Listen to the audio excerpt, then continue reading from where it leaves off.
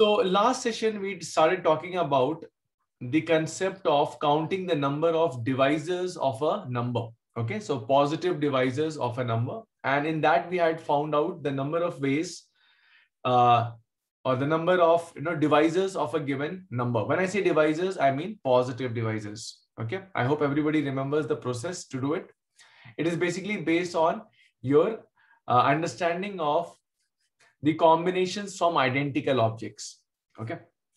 So we'll be taking that concept a little further. And today I'll be talking about how to find out the sum of positive divisors of a given number.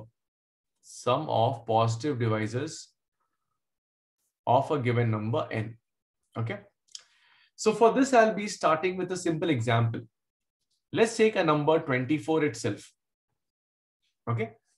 Now I want to find out what are the divisors and what is the sum of the divisors. So you already know the positive divisors or the positive factors for this number are 1, 2, 3, 4, 6, 8, 12, 24. Okay. Now, if I want to add these divisors, okay, is there any shorter way in which I can do it? In this case, the number of divisors are very less. There are hardly eight of them. So adding them to get the answer is very easy. But think in terms of a, you know, a number which can be, you know, quite big and there could be so many factors of that number. So how will you basically accomplish the task of adding the divisors? So we'll be taking this number as an example to explain that. If you see 1, 1 is what? 1 is 2 to the power 0, 3 to the power 0. Let me write it like this. This number 1 is what? 2 to the power 0, 3 to the power 0. Correct? Yes or no? Correct? What is this number? 3. 3 is 2 to the power 0, 3 to the power 1. Yes or no? Okay. What is this number 2? 2 is 2 to the power 1, 3 to the power 0. What is this number 6? 2 to the power 1, 3 to the power 1. Yes or no? What is this number 4? 2 to the power 2, 3 to the power 0. Correct? What is this number 12? 2 to the power 0, 3 to the power, sorry, 2 to the power 2, 3 to the power 1. Yes or no? What is this number 8? 2 to the power 3, 3 to the power 0. And what is this number 12?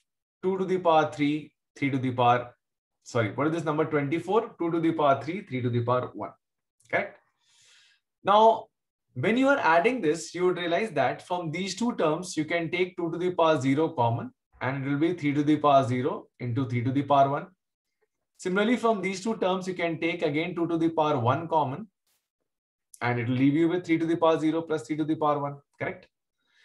Similarly, from these two terms, if you take 2 to the power 2 common, it will give you 3 to the power 0, 3 to the power 1. And from here also, if you take 2 to the power 3 common, it will give you this. Yes or no? Correct? In short, from all these terms that you have, see, ultimately what do we, we have to do? We have to add all the divisors, isn't it? We are finding the sum of the divisors. So if you take 3 to the power 0, 3 to the power 1 common from, let me write it slightly far off here. Let me write it here. If you take 3 to the power 0, 3 to the power 1 common from each one of these terms, you will end up getting something like this. Correct me if I'm wrong. Okay. So this gives you basically nothing but the sum of the divisors of the number 24. Okay. Sum of the divisors of the number 24. Okay. Let's check whether, whether our answer is correct or not. So if you add them, you will end up getting 1 plus 2, 3, 3 plus 3, 6, 10, 16, uh, 24, 36, 60. Okay, the sum is going to be 60, isn't it? So when you add it, you're going to get the sum as a 60. Okay, let's see what comes out from here. This will give me uh, 1 plus 2, 3, 3 plus 4, 7, 7 plus 8, 15, and 15 into 4, yes, 60. Absolutely right. I mean, we are getting the exact result as we desired. Okay. So basically what I'm doing from here, from this small case, I'm trying to see what methodology, what logic I can use to find out the sum of all the divisors of any, sum of all positive divisors of any number n. Okay. So can I extend this concept and make a general formula out of it? Can anybody tell me what is the general formula that will come out from this approach? So let's say we have a number n whose prime factorization is, let's say, p1 to the power alpha 1, p2 to the power alpha 2, all the way till, let's say, pk to the power alpha k. Then what do you think is the sum of all the divisors of the number, sum of all positive divisors of that number?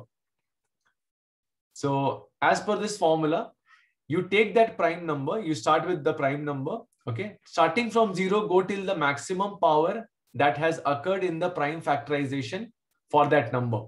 So in this case, I'll be starting with P1 to the power 0, P1 to the power 1, and I will go all the way till P1 to the power alpha 1, just like the way I started with 2 to the power 0, and I went all the way till 2 to the power 3, right? Same I will do with the other prime factors as well. So P2 to the power 0, P2 to the power 1, all the way till P2 to the power alpha 2. And this process continues till we take care of all the prime factors, that is Pk to the power 0, pk to the power of 1 da da da da da till pk to the power alpha k. Okay. Now it may appear to be a very uh, you know, lengthy expression to write, but there is a way to simplify this also. If you see each one of these terms are geometric progressions. Okay. So first term is 1, common ratio is let's say P1 in this case, number of terms is alpha 1 plus 1. So you can write this as P1 to the power alpha 1 plus 1 minus 1 by P1 minus 1. I'm using your geometric series formula. This also I can write it as P2 to the power alpha 2 plus 1 minus 1 by P2 minus 1. Okay. And so on till Pk to the power of Pk to the power of alpha k plus 1 minus 1 by Pk minus 1. Please note this down. This is the formula for sum of the divisors, sum of the positive divisors of a number.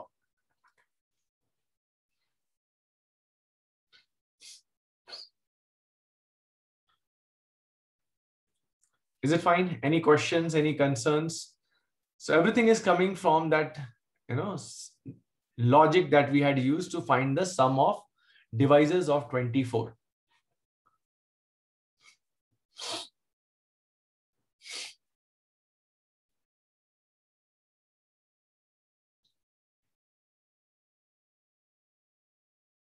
Is it fine? Any questions?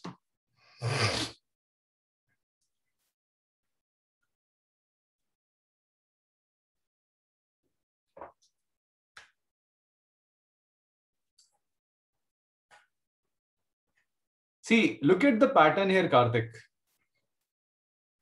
Your number 24 was factorizable as 2 to the power 3 into 3 to the power 1, correct? This was the factorization of 24. So what did you do to find the sum till n terms? You started with 2 to the power 0. That is, you took the first prime number, started with 2 to the power 0 and went all the way till the power 3. 2 to the power 0, 2 to the power 1, 2 to the power 2, 2 to the power 3. Same, there is another prime factor. There is another uh, prime uh, number in the factorization, which is 3, and it has a power of 1. So same way, start with 3 to the power 0 and go up till 3 to the power 1. Got the point? So let's say hypothetically there was some other number, 5 to the power, let's say 4. Then what you would have done? 5 to the power 0, 5 to the power 1, 5 to the power 2, 5 to the power 3, 5 to the power 4. I mean, hypothetically, I'm just giving a, um, you know, got it. The same thing I took, let me remove it from here, else you'll think that sir has written 54 as, sorry, 2 to 24 as that term, which is not correct. Yeah. So in the same way, I generalize it. So if the number n is prime factorized as this. I don't know why my n looks like mu. Okay, let me write it again. Yeah. If I write my n like this, start from p to the power 0, go p1 to the power 0, go all the way till p1 to the power alpha 1. Same you do with the other factors as well and just multiply it. Now clear, everybody? All right, so let's take a question.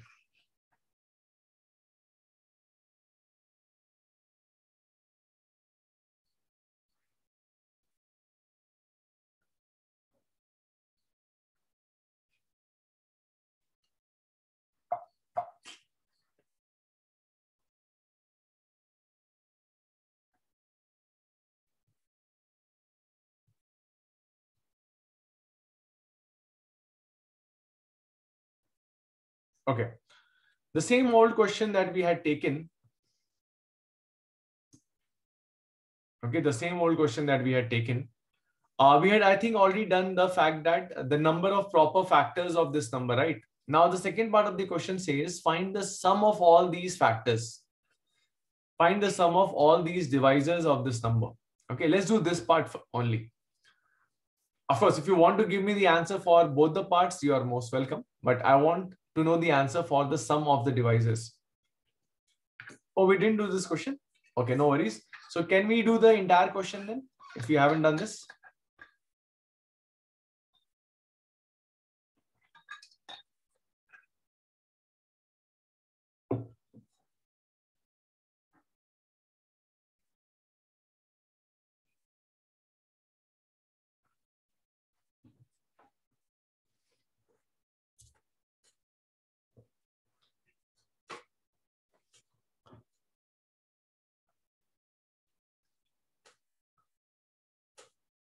So first prime factorize uh, 38808.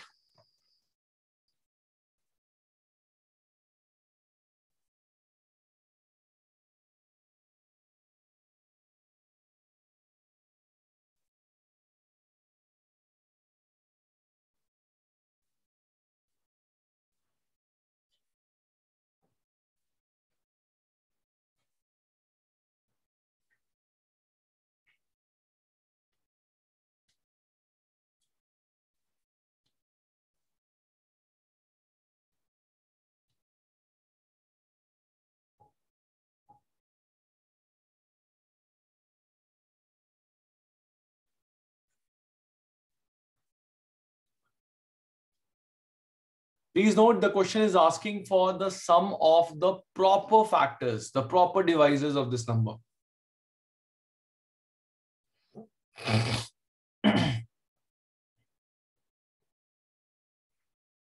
okay, I'll also do this question along with you.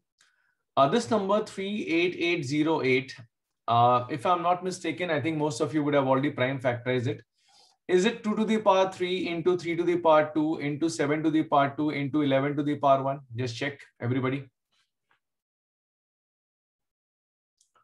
Everybody's getting this? Okay, great. Now here, please understand.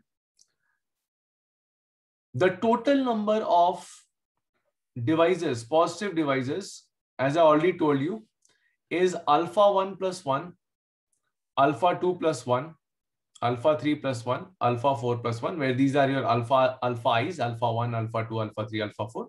So take the powers of these prime numbers, add 1 to it, and keep multiplying it. So that gives you 4 into 3 into 3 into 2. Correct? So what does it give you? I think it gives out to be a 72. Correct? But these are total divisors. So what are the total number of proper divisors? So from proper divisors, uh, in proper divisors, you don't include the number one and the number itself. So you subtract two from it. Okay. So there will be 70 proper divisors for this number. Is it fine? Any questions? Okay. Now I have to find the sum of all these proper divisors. So let's first find out the sum of divisors.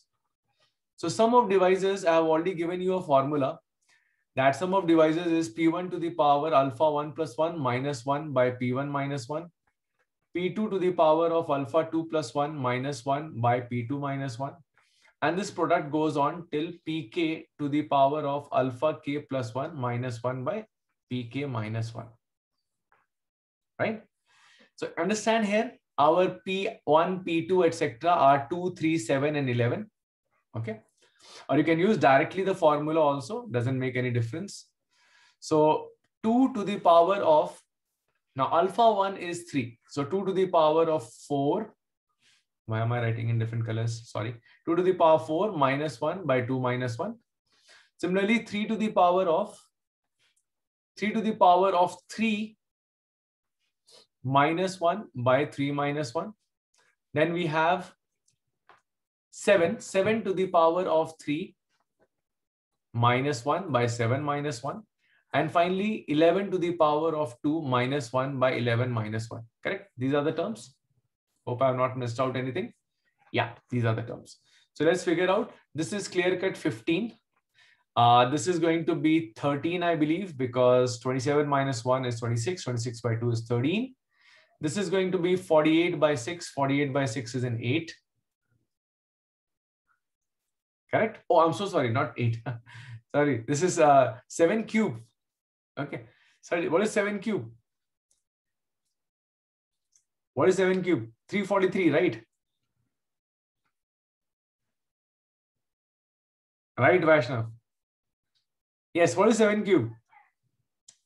So 7 cube, 343 minus 1, which is 342. 342 by 6, which is going to be 57. Right? And this is 121 minus 1, which is 120. 120 by 10, which is 12. Okay. How much does this give, give it to you? I, I mean, some bit of multiplication is needed over here. So it will give you 1, one uh, lakh 33,380. Okay. But note, this is the sum of all the divisors. I don't need the sum of all divisors. I need the sum of the proper divisors correct? So sum of proper divisors will be this minus this minus this minus the number 1 and the number itself which was 3 oh i'm so sorry yeah three eight eight zero eight three eight eight zero eight. Yeah, how much it come out to be? Minus minus one minus three eight eight zero eight. This comes out to be ninety four thousand five hundred and seventy one. Okay, this is going to be your answer. Is it fine? Any questions? Clear?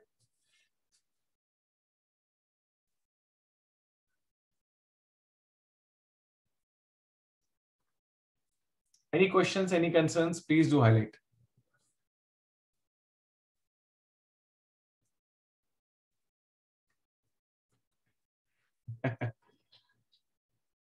okay, we'll take uh, one more questions. Find the sum of even divisors, even positive divisors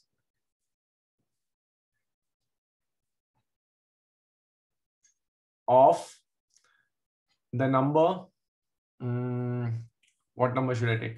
Let's say 1008. Find the sum of all positive divisors positive even divisors, sorry, the word even is important here. So even positive divisors of the number 1008.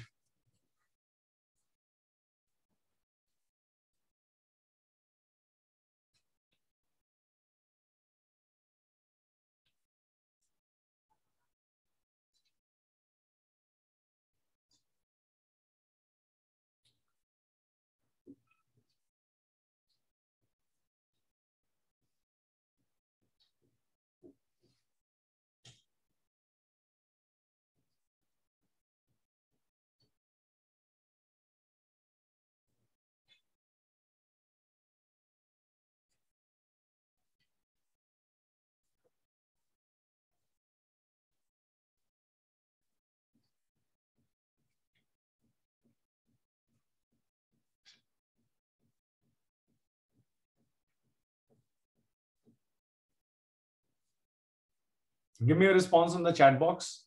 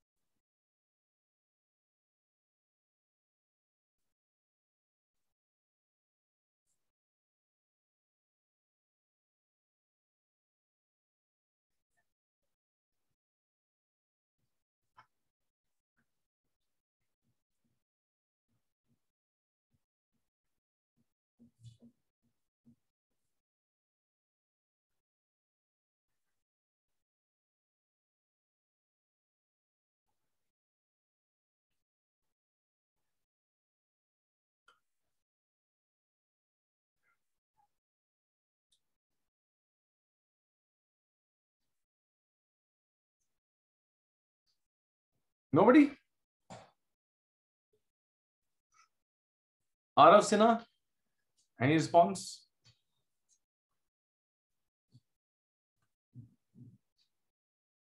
Vaishnav?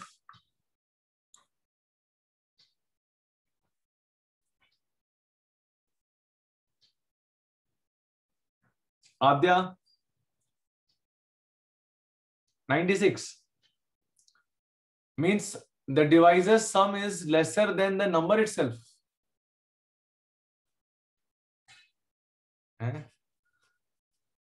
एफा कैफ़े odd का भी सम इतना नहीं होगा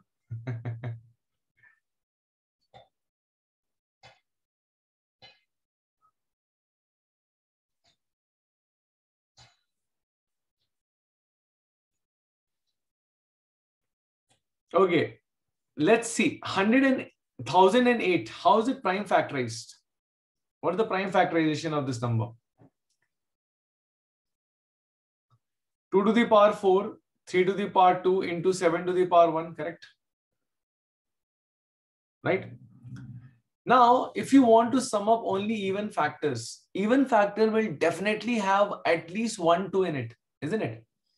So in the formula that you learned in the formula that you learned, you started a prime factor with power of zero, right? But this time for two, you will start with two to the power one because at least one, two should be there, right? Right? Others may start with zero, no problem. But you have to have at least one, two in a factor to make it even. Correct? That's it. And for this, you were taking so much time. I don't know why. Guys, understand the concept. Mugging up is not going to help you out. Formula, you know, that is okay. But you should know what can be the tweakings that can be done to that formula. How can question setter challenge me on that formula itself? Right? Most of us, we, you know, we feel happy solving a problem. No, it should be other way around. You should not be happy solving a problem. Because once you solve it, you learn nothing from it. So when you solve a problem, make it more complicated. Okay, let's say the question setter had given me the sum of even divisors, odd divisors, some of, you know, uh, divisors which are perfect square. What, what can I do in those cases? Those kind of thinking process should keep on running in your mind. Okay. Anyways, let's calculate it. This is 16 plus 8, 24, 24 plus 4, uh, 28, 30. So 30 and this is going to be how much? Um, uh, 9 plus 1, 10 into 13 and this is going to be 8. So how much does it come out to be? How much does it come out to be?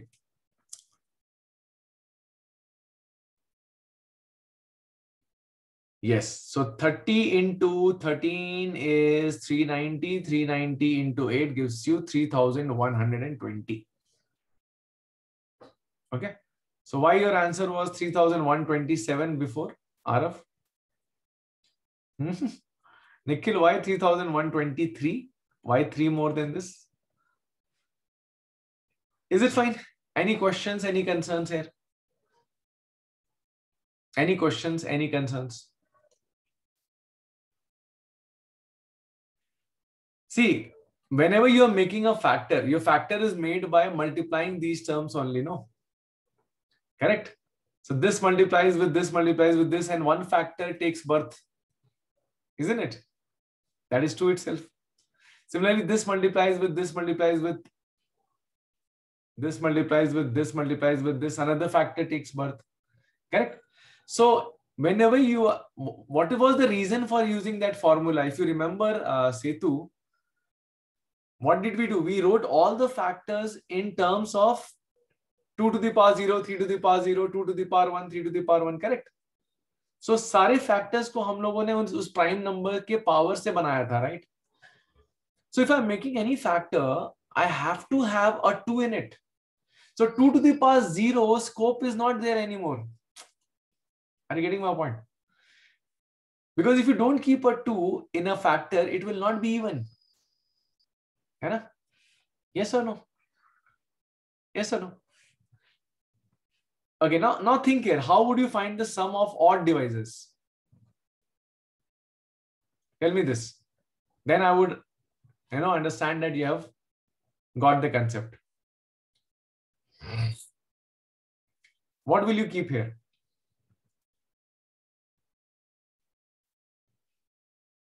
Right? So from 2 only 2 to the power 0 can be picked. From others, you can pick any number of terms you want. Okay. So it's just going to be 1 into 13 into 8. 104. Got the point? Okay. So these are the things which are going to be tested, you know, while you are, you know, ask questions on this topic. Is it fine? Any questions, any concerns here? Okay. Next topic that we are going to talk under divisors only is the number of ways, the number of ways to express a number as product of as product of two of its factors or two of its divisors.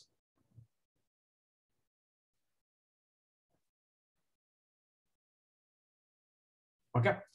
Now, what do I mean by this? Expressing a number as a product of two of its divisors. Again, let me give an example of uh, 24.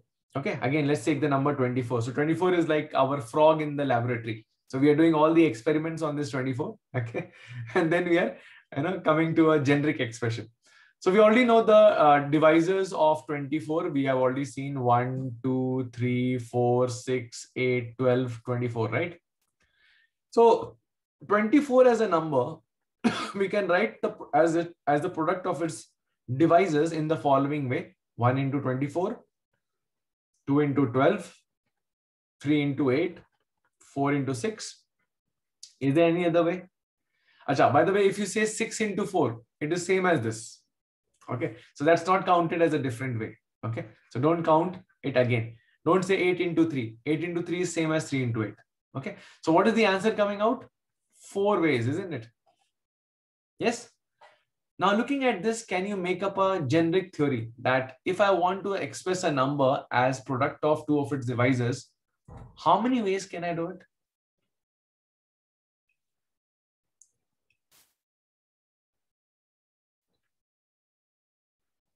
How many ways can I do it?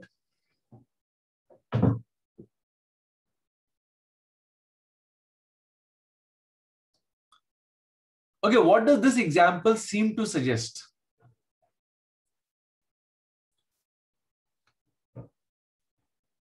Okay, it seems to suggest it is half of the total number of factors, right? But yes, Nikhil has a very valid point. If the number happens to be a perfect square, then this particular approach will fail. So let's say a number 36. Okay. So 36, let's write down the divisors first of all. Okay, so 36. The divisors, in fact, the total number of divisors will always be odd here.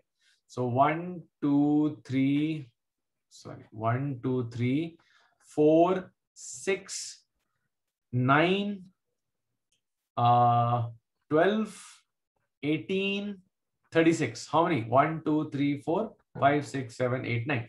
Okay. So there are nine divisors. So can I say my answer is 9 by 2, 4.5? Definitely not. There cannot be fractional number of ways to do something. Okay. So the formula fails over here. Okay.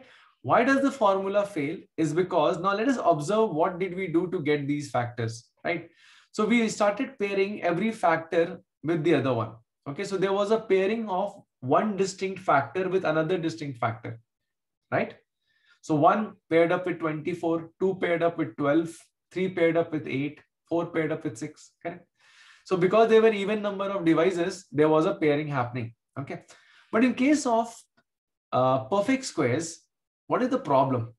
The problem is you can write 36 as 1 into 36, 2 into 18, 3 into 12. See the, see the pairing that is happening. This into this, this into this, this into this, this into this. But 6 has to pair up with itself. Are you getting my point? So there is a pairing of 6, not with some other distinct factor, but with itself.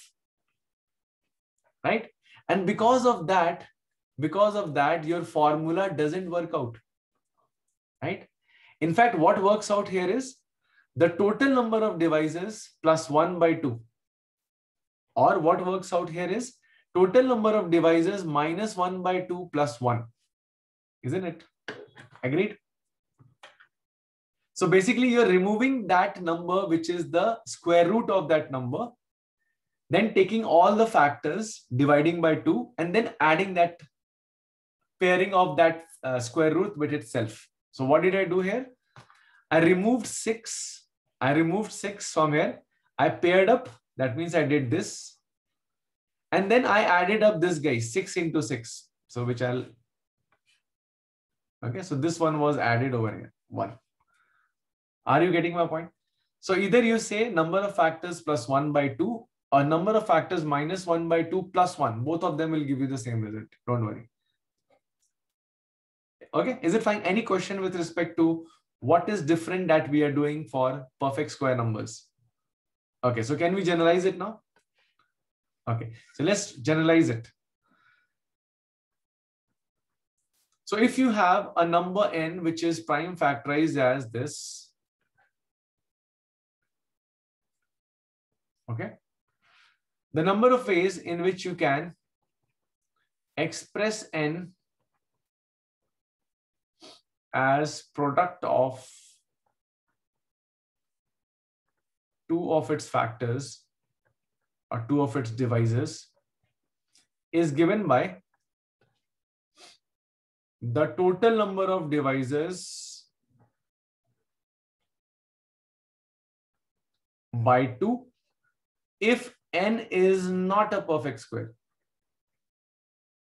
n is not a perfect square. Okay. And the same formula, uh, the same uh, question can be solved by using this formula. Plus 1 whole by 2. If n happens to be a perfect square. If n happens to be a perfect square. Is it fine? Any questions, any concerns here?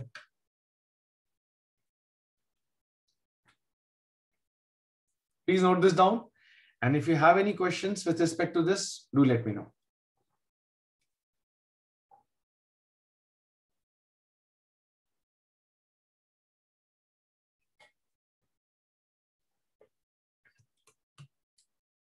Okay. All right. So uh, with this concept, we are now moving towards division of distinct objects into groups. We are now going to talk about division of of distinct objects objects into groups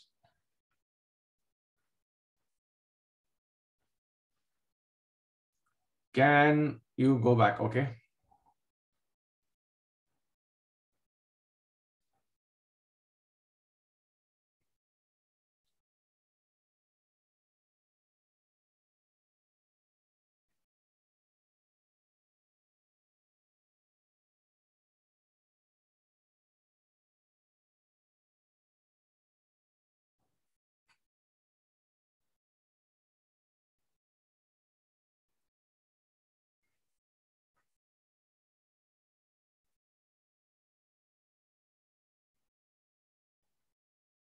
Okay, very good.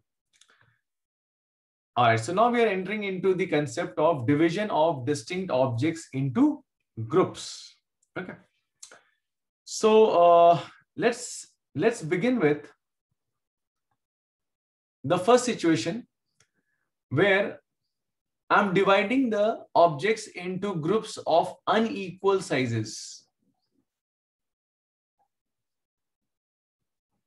Okay. Uh, let me give an example. Let us say I have uh, three students, okay, and I want to make two teams out of it. One team should contain two students and one student in the other team, okay. So what I'm doing, I'm dividing these students. Of course, students are distinct objects, and you're dividing it into two groups. And you can see the two groups are of equal, unequal sizes. One is of size 2, another is of size 1. Okay. How many ways can you do it if the order of the group is not important? If the order of the groups is not important. Now, what is the meaning of order of the groups is not important?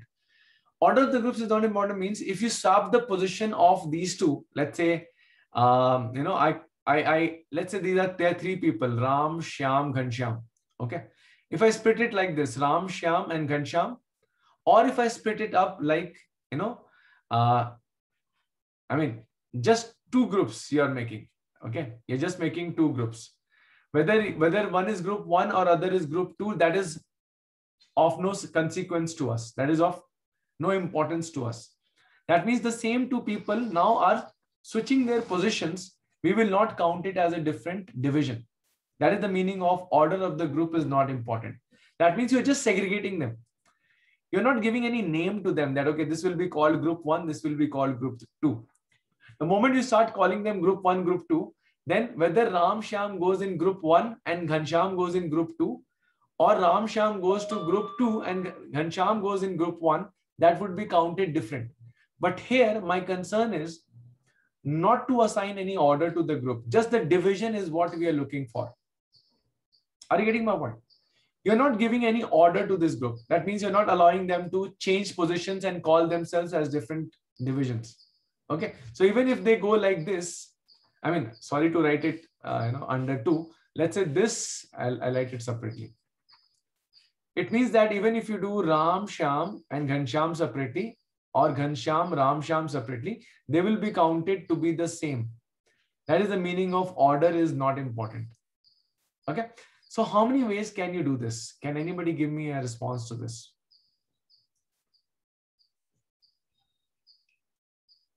Okay. So Nikhil, you're just uh, talking about this problem per se, or do you have a logic to solve a bigger problem with respect to the same topic, with respect to the same uh, concept? How did you get that number? That is what I'm more interested in.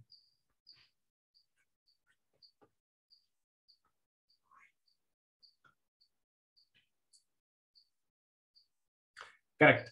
So in order to do this, you just selected two out of three. The moment you select two out of three, the one who is left behind, he will be treated as another group. So a simple way to do this problem is just doing 3 factorial by 1 factorial, 2 factorial. Okay. Yes or no? All right. Let's say I have another example. Let's say uh, there are uh, five people. I want to make a group of two and I want to make a group of three. Order is not important. How many ways will you do it? How many ways will you do it?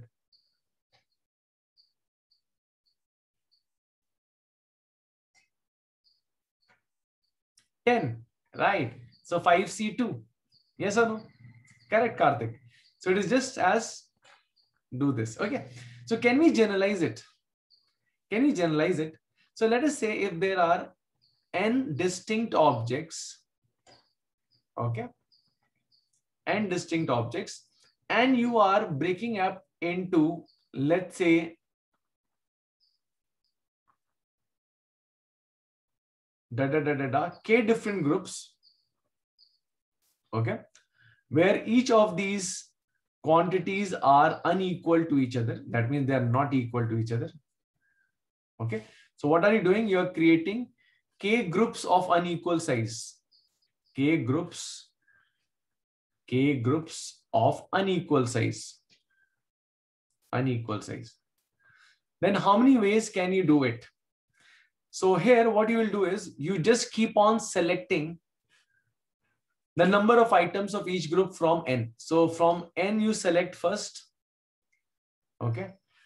M items, M1 items. Okay. Then from the remaining you select M2. Then again from the remaining you select M3 and this will continue till you are left with MK, CMK. Correct? Am I right? This is the generalization of it. Yes or no? And to your surprise and to your you know happiness, if you simplify this, this will come out to be n factorial by m1 factorial, m2 factorial up till mk factorial. Just like the way it happened in these uh, two smaller examples which I took. So see this 3 when was it was divided into two groups of size 1 and 2. It became 3 factorial by 1 factorial 2 factorial. Similarly here it became 5 factorial by 2 factorial 3 factorial. And likewise here also it became this. Is it fine? Please note down, this is the result when the order is not important. So we are talking about those cases when the order is not important. That means even if you shuffle these groups among themselves, it will not be counted as a different division. It will still be the same division.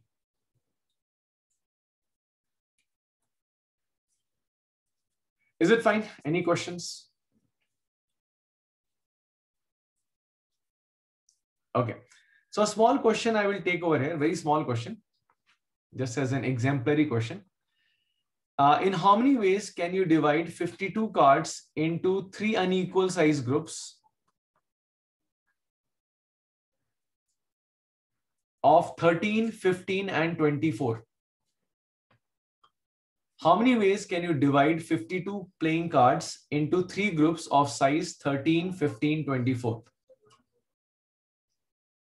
Please note, the question setter will not use the word order is not important. You have to understand right? So basically you are just cutting the cards. I hope you understand the meaning of the word cutting the cards. Those who play cards, they use this word. Let's cut the card now. cut the card means let's split the card. Okay. So if you're splitting it, it, it, uh, it uh, the cards into three groups. There's no order assigned to it. It's you can't say that okay, if this card comes here, and this card comes here, and this card is let's say here, it will be a different splitting. No, it will be same splitting. Okay. So how many ways can we do it? What is the answer? What is the answer in this case? Tell me, tell me, tell me fast, fast, fast. 52 factorial by by why 51 factorial yeah 51 uh, 52 factorial by 13 factorial 15 factorial 24 factorial is it fine? Any questions? Okay. Now, what will happen if the order becomes important? That means, let's say, let's say the same question of splitting three students into two groups. If the order is important, then remember, let's say if you do something like this, Ram, Shyam, Ghanshyam, okay, or Ghanshyam, Ram, Shyam they will be counted as different. Okay. In other words, you are basically assigning some kind of an identity to these groups. Maybe you're calling this as group one, you're calling this as group two. Okay. So if group one has Ram Shyam and group two has Ghanshyam, or if group one has Ghanshyam and group two has Ram Shyam, then they will be counted as a different division. So if the order is important, how would your previous answer get changed? How will this 3C2 get changed? Of course, you'll say, sir, 3, yeah, 3C2 will get multiplied with 2, or in this case, 2 factorial. Isn't it? Yes or no? Same, how will this change? 5C2 get multiplied with 2 factorial. Isn't it? So I just want to generalize it. So in general, if the order is important, if the order is important, the same, the same topic, this is order is not important. But if the order is important, then the formula will change like this. N factorial by m1 factorial m2 factorial till mk factorial whole multiplied with k factorial. Okay? So this is the result when the order is important this is the result when the order is important that means you multiply it with the factorial of total number of groups that were actually there. Why? Because for the same splitting, if I start shuffling these divisions, they will be counted as a different division. As you can see, Ram Shyam and Ghanshyam, this same splitting, if they were changed like this, then it was a different division when the order is important. Okay. So when normally does it happen? It normally happens when there is a change of hands that is possible of the group or there is a change of the order of the group is possible. For example, for example, let's say there are 52 cards. Okay. You need to split this card as 13, 15, and 24 cards and give it to three players. And give it to three players. How many ways can you do it? Now, the moment the question says you're giving it to three players, that means the same split can exchange hands. And it can exchange hands in, basically, you can order these three groups in three factorial ways, isn't it? So because of this part that you're giving it to three players, order becomes important. Order becomes important now. Right? Because this 13, 15, 24, let's say the same 13, same 15, same 24, cards start interchanging themselves. That means, let's say earlier this 13 was with Ram, 15 was with Sham, and 24 was with, was with Ghanshyam.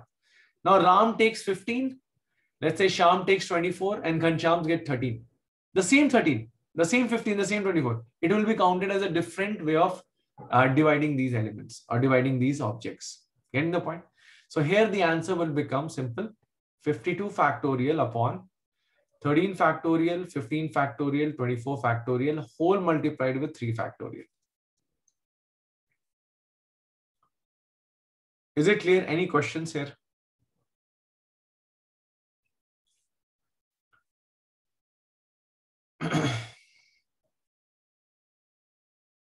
any questions, any doubts, any concerns? If you have, please do let me know.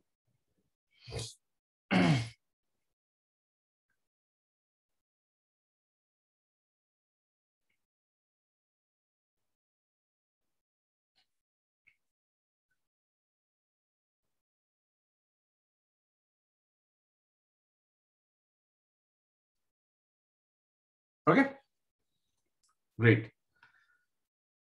Now, let us talk about equal size groups. Okay, equal size groups. The situation is slightly different with equal size groups. Something wrong with my, yeah. Now let's take, let's take a situation uh, I mean, let me start with a very simple uh, situation. Let's say I'm dividing two students into two groups of one, one each. Okay. And the order of the group is not important. Order is not important. How many ways can you perform this?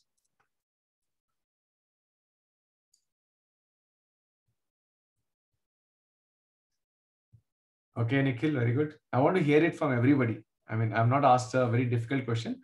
I have to split two people into two groups Order is not important. There's only one way to do it, isn't it? Now, the answer to this is actually 2c1 by 2. Or you can say 2c1 by 2 factorial. See, why it is why it is 1 and not 2 Siddharth, uh, sorry, Karthik. Let's say Ram and Sham are these two students. The only one way to split this is Ram is in this group, Sham is in another group. Is there any other way? Tell me. Is there any other way? So answer is only one. Okay. All right, let's take this one. If there are four students, I want to divide them into two groups of two, two students. How many ways can I do it? Tell me.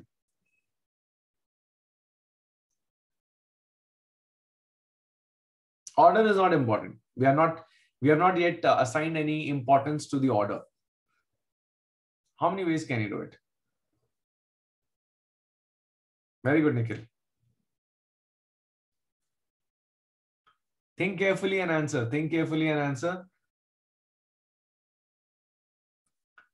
Okay, let's take these people to be A, B, C, D. Okay. So in order to split them into 2, 2, I can have a team like A, B, C, D. A, B here, CD here. Or I can have A, C, B, D.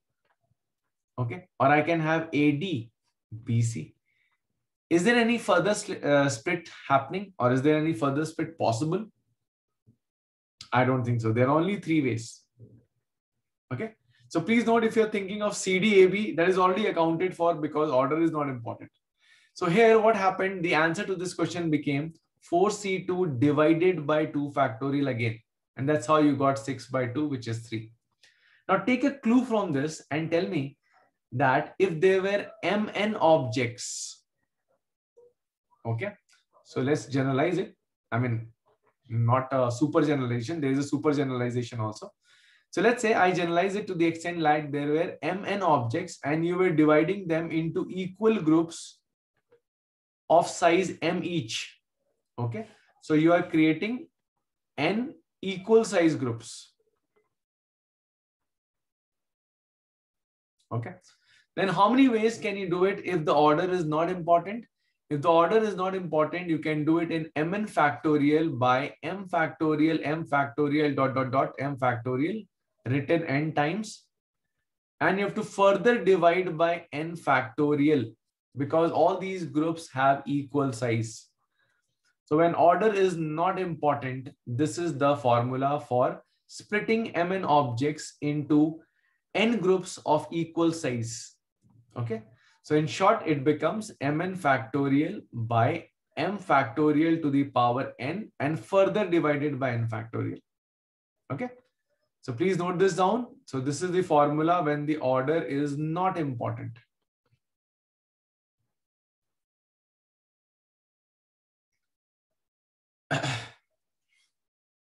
is it fine? Any questions? Okay. If the order becomes important, that means now A, B, C, D and C, D, A, B will be considered to be different divisions. Then what will happen to this uh, result? So if the order is important, let me write it on the top. If the order is important, if the order is important, order means order of the group is important.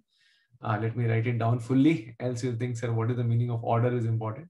Order of the groups is important, then what will happen? Your answer will change. Your answer will change to mn factorial by m factorial to the power n by n factorial into n factorial. That means factorial of the total number of groups. Okay. So ultimately n factorial, n factorial will get cancelled off. So this is when the order of the group is important. Is it fine? Okay, let's take a small example question on this. 52 cards is divided equally into three uh, into four groups of 13 13 each. How many ways can you do it? So how many ways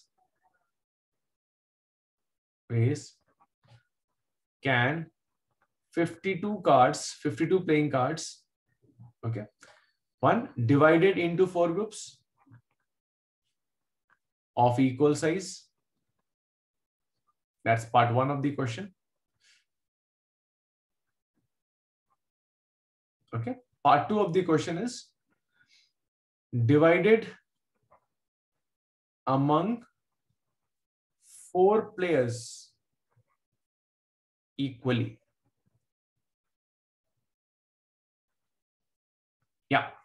Please give me a response to this uh, two questions. Uh, put one and two in your answer while you're giving it so that I understand which part you're answering.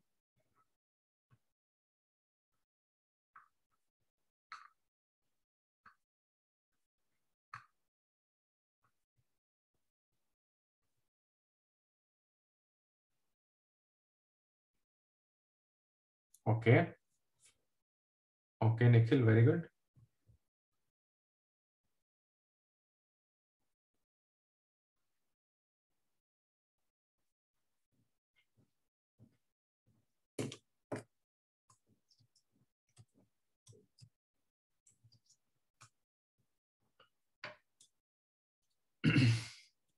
Very good, Prisham.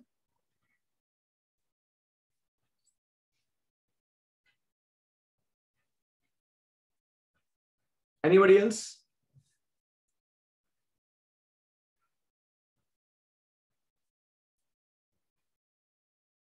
Vaishnav, excellent, excellent. So the first one, when you're dividing it into four groups of equal size, you're just dividing it. You're not assigning it to somebody. You're not allowing them to change hands, right? It is just split. I mean, just split them into four pieces. That's it. It's, it doesn't matter whether this split you keep here, this split you keep here, it will be called as a different division. No. So here order is not important. Indirectly here, order of groups is not important. You have to understand it reading the question. Question setter will not mention. Okay. Yes or no? And the second uh, method, you are dividing it into uh, among four players. So order becomes, order of the group becomes important. Okay. So the answer to the first question is 52 factorial by 13 factorial to the power 4 and further 4 factorial. And answer to the second part is 52 factorial by 13 factorial to the power 4 into 4 factorial into 4 factorial. Okay. Now, many people ask, sir, why you waste time writing both of them? No, there's not a waste of time. You will understand when I give you a super generalization of the concept. Okay. It always doesn't cancel out like the way it is happening here. Okay. So it's a good idea or it's a good practice to write both of them. Even though they are getting cancelled in this case, write both of them because soon I'm going to give you, in fact, immediately after this, uh, I am going to give you a formula for super generalization of this concept. Okay. Any questions, any concerns so far, please highlight.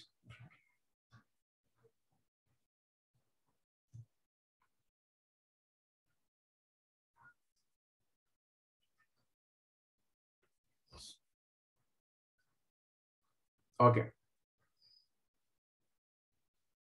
Now let us say, let us say there are n objects, okay, n distinct objects. Let me write it like this. n distinct objects. You are dividing these distinct objects into several groups. Let's say one group has size m. Okay, other group has size, let's say p. Okay, uh, let me write it like this. P, P, P, dot, dot, dot, P. So there are k such groups which have equal size. Okay. And then you're dividing it into, let's say, R, R, R. Okay. So let's say there are L such groups which have got size of RRR. Okay. And let's say I add few more. Let's say one group has size S, other group has size T. Okay. So what I'm doing, I'm making a case where I'm splitting these n distinct objects into some groups. Mind you, few of the groups here have equal sizes of, let's say, k of these groups have equal sizes of P L of these groups have equal sizes of R. Okay. So this is a super generalized version. So how many ways can you make this division if the order of the groups, if the order of the groups is not important? Okay. Now listen to this. If the order of the group is not important, you'll take total number of items divided by factorial of this. Now see here, t factorial, s factorial, m factorial. And these p factorial, you will write k times. So it's better raise it to the power of k. And since there are k groups of equal size, you have to further divide by k factorial. Okay. Similarly here, r factorial, you will write l times. And since there are l equal size groups, you will divide further by l factorial. Are you getting my point, what I'm trying to say? Let me give an example. Let's say I'm dividing 52 cards as 5, 5, 5, let's say 6, 6. By the way, how many over? 15 plus 12, 27 over, no? So 27 over. So I have 25 more to go, right? So one is 10, let's say. Other is 15, let's say. Okay. So you just have to divide these 52 cards like this. Three groups of equal size 5, two groups of equal size 6, and two separate groups, one of size 10, another of size 15. Okay. If order is not important, that means you're just dividing them into group, not giving it to any player or, or something like that. Then the answer for this will become 52 factorial by, tell me, 5 factorial cube because 5, 5, 5, 3 groups are there. And further divide by 3 factorial because there are 3 groups of equal size. Are you getting my point? This is very important. Don't forget this 3 factorial. Okay. Similarly, 6 factorial to the power 2 further divide by 2 factorial because 2 equal size groups. Correct? And then 10 factorial, 15 factorial. Is the idea clear, everybody? Why? Because there were three equal size groups. Why did you divide by 2 factorial in the beginning? Or when we were doing about, when we were do, uh, splitting it up into equal size groups? By the same logic. So this term will come because there are k groups of equal size. This term will come because there are L groups of equal size. Got the point? Similarly, here also you'll divide by 3 factorial because 3 groups are of equal size. And again, 2 factorial here will come because these two groups are of equal size. Got the point? Okay. Now let's talk about when the order of the group is important. How will the same problem will be solved? Order of the groups is important. Okay. In this case, your previous result will just get multiplied with the total number of groups factorial. That's it. Okay. So the very same formula, n factorial, let me write it in yellow n factorial by, what did I write? I'll just copy it. t factorial, s factorial, m factorial, p factorial to the power k, k factorial, r factorial to the power l, l factorial. This will multi get multiplied with the total number of group factorial. How many groups are there? One, two, three, k, l. So k plus l plus 3 factorial, isn't it? So k plus L plus 3 factorial. In short, I mean, I've just wanted to write here, it's the total number of groups so that whatever is the situation, you can adopt, you can adapt to that situation and write it down.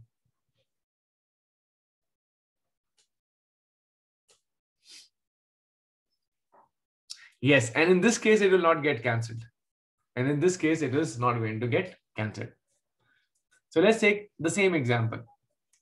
How many ways can you divide 52 cards among seven players such that three of them get 555, two of them get 66, and other two get 10 and 15 respectively.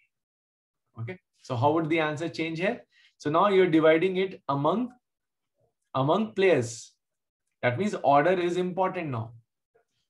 So if order is important, it will become 52 factorial upon 5 factorial cube by 3 factorial, 6 factorial square by 2 factorial, 10 factorial, 15 factorial, and into 7 factorial. And this is where the cancellation is not going to happen, unlike what happened in the previous case. Clear, everybody? This is very important. Unfortunately, in CBSE curriculum, they don't speak about this concept. It is very well stated in ISC books, ISC curriculum.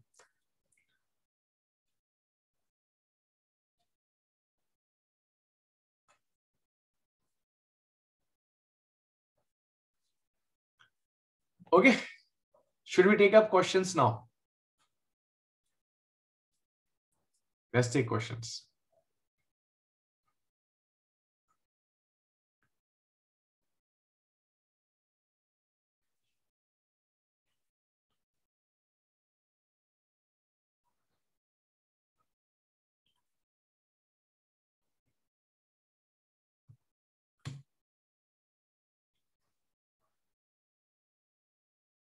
I think we have already done the first two. You may probably start with the third part here because I've already done how many ways can a pack of 52 cards be distributed equally among four players in order? And second part divided into four groups of 13 cards each. These two we have already done. In fact, I will write down the answer also quickly so that we don't waste time. Okay, so this is the answer to the first question. Answer to the second question was this.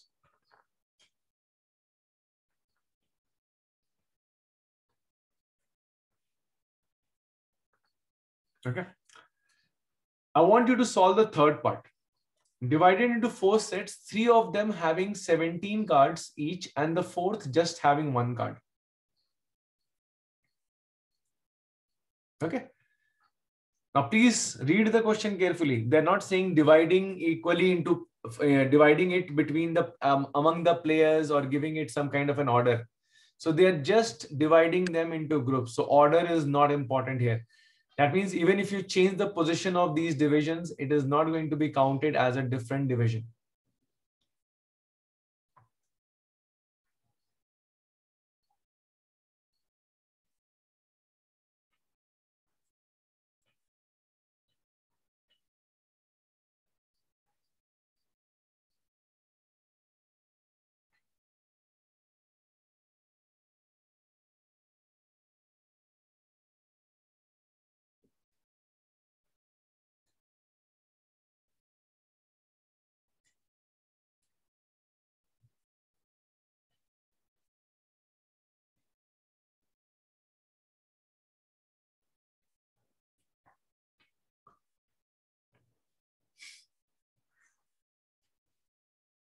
Excellent, Nikhil. So you're dividing 52 like this 17, 17, 17, and 1, isn't it? So it is going to be three groups of 17. So 17 factorial to the power 3 and also 3 factorial will come in because three groups are of equal size. Okay. Now many people say, sir, can I write 1 factorial also? I write it, no problem. It doesn't make any difference. 1 factorial is anyways 1. Got it? Is this the answer you got, Vaishnav? Yes, then you're right. Okay. Can you take another one now? Very good, Karthik. Can I take another one now?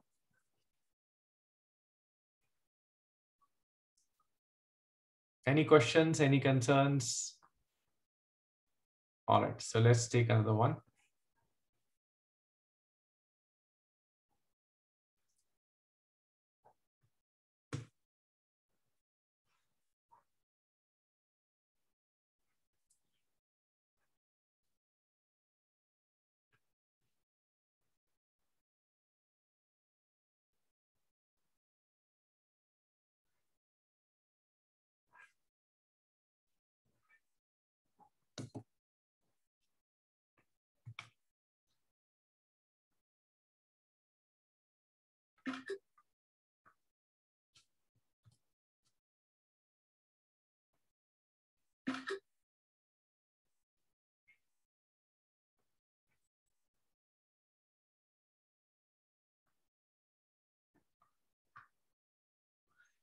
जितने भी group common हो, जितने भी group में equal number of items होंगे ना, उसके factorial से आपको डिवाइड करना होगा Setu.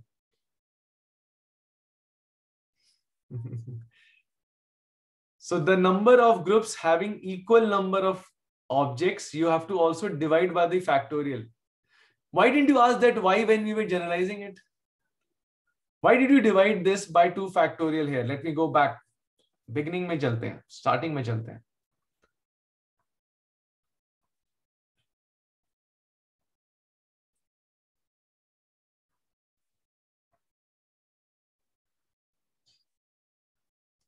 I think it was here. Yeah. No, before this.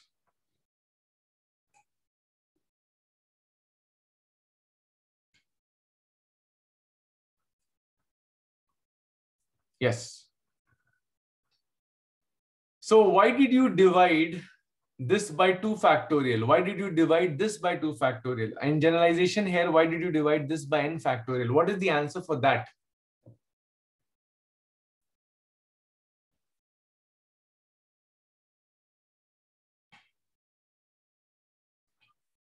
I mean, I understand you're asking this question very late, but you should have asked it, you know, then. Correct? See here, what is happening? When you are, let's say I take this case. This is a more, you know, you know, interesting case. Yeah, this one. So when you are splitting it into two parts, please note that the size of the group is equal. That means there cannot be any distinction made with respect to the groups with respect to the size. Different size themselves attribute to different groups. Correct? Anybody can understand that there are two different groups if their size is different, isn't it? Yes or no? But in this case, the fact that the groups have equal sizes, that distinction that the group are different with in view of their size is taken away. See, many times what happens, it is very easy to understand that these two are different size uh, groups because the number of items there are different in each one of them. They are unequal size, so they're different groups. Correct? So the size of the group acts like a distinguisher. Isn't it? So here, that factor is taken away from this because the size of the group doesn't make any kind of a distinction. In earlier, there was Ram, Shyam, Ghanshyam. Correct? So if I put the sham on the other group, it was it is going to be counted as a different thing. Right? But here what is happening? A, B, and CD come in one group. Let's say in the first group again CD comes and AB comes in the other group. It will not be counted as a different splitting. So the virtue or the advantage of size difference is now taken away from these. So your answer gets reduced because the sizes themselves were making a difference in their in the number of the counts. So अगर size different होगा तो automatically उतने counts बढ़ते जाएंगे. But if size is equal, what will happen? Size advantage chala gaya. There is no side advantage. There is no size advantage given to these groups. And that's the reason why your answer drops by a factor of the factorial of the total number of groups having equal size. Are you getting my point? So size difference was one of the factors which led to more count.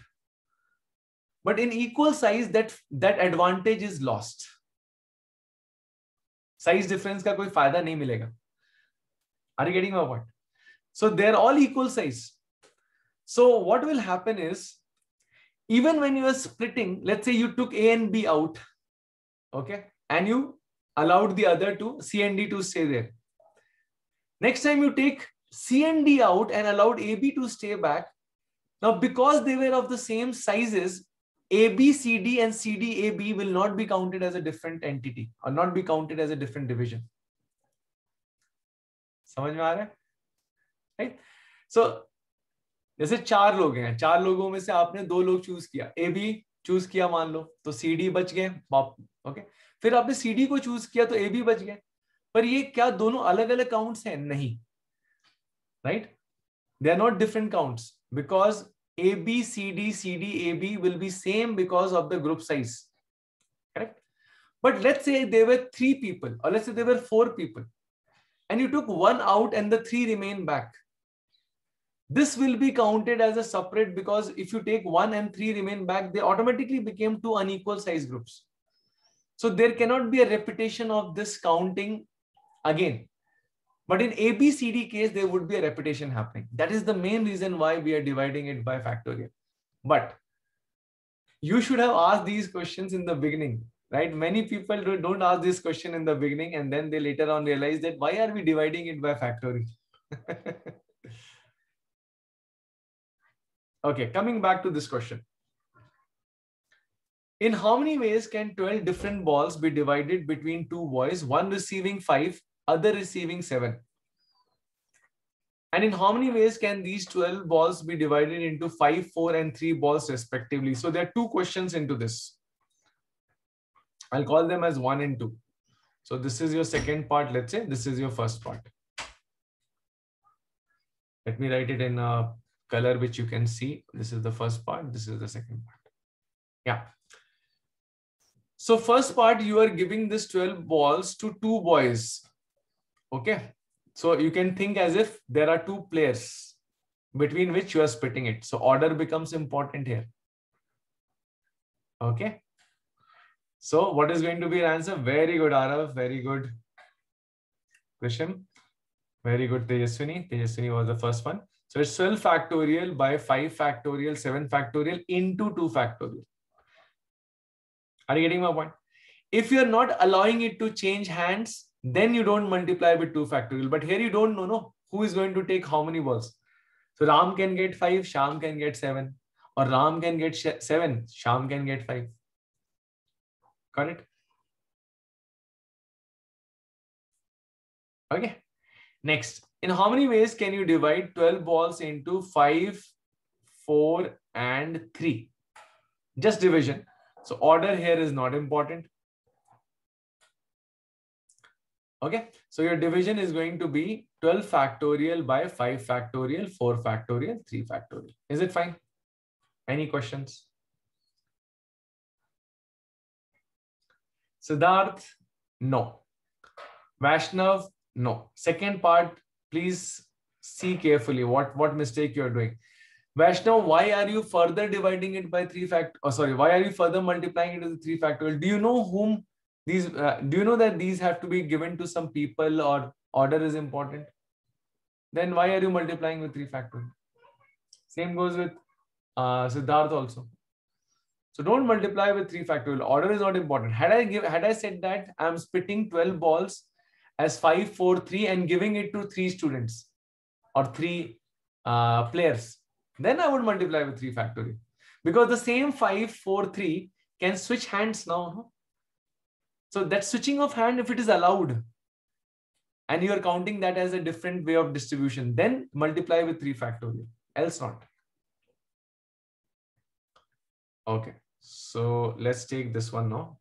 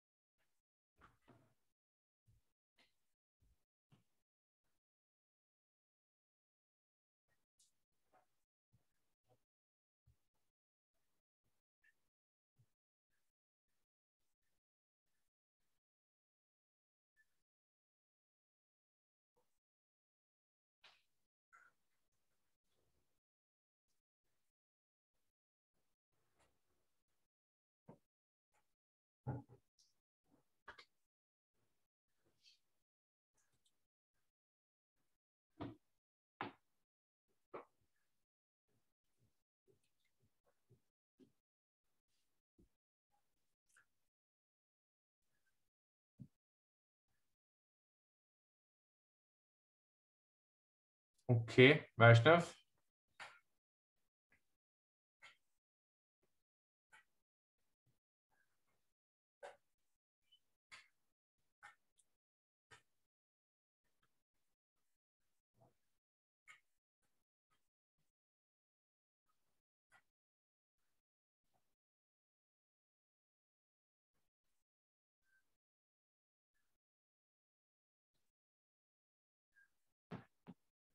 Nikhil, very good.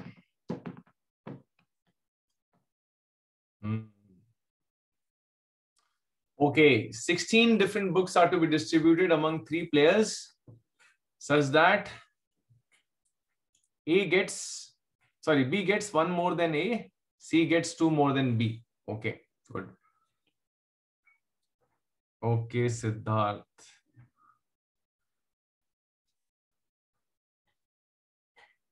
Okay. Tejaswini, very good. Okay, so let's say A gets X objects. Okay, so B should get how much? x plus 1. C should get how much? x plus 1 plus 2. Okay. So altogether it should be 16. That means 3x plus 4 should be 16. That means 3x is 12. So x is 4. Okay. That means A should get exactly 4, B should get exactly 5, and this uh, C should get exactly exactly 7 objects, right? Okay. So the answer here would be 16 factorial by 4 factorial, 5 factorial, 7 factorial. Sir, are you missing 3 factorial? No. If you are writing 3 factorial, it will be wrong. So Kartik Sanoj Setu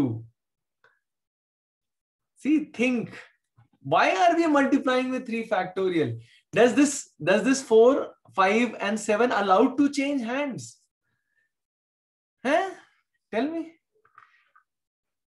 can A get seven objects B get four objects and C get five objects ऐसा हो सकता है क्या? Tell me, can it happen? Are these objects allowed to change hands? Does order, will order be taken into account here?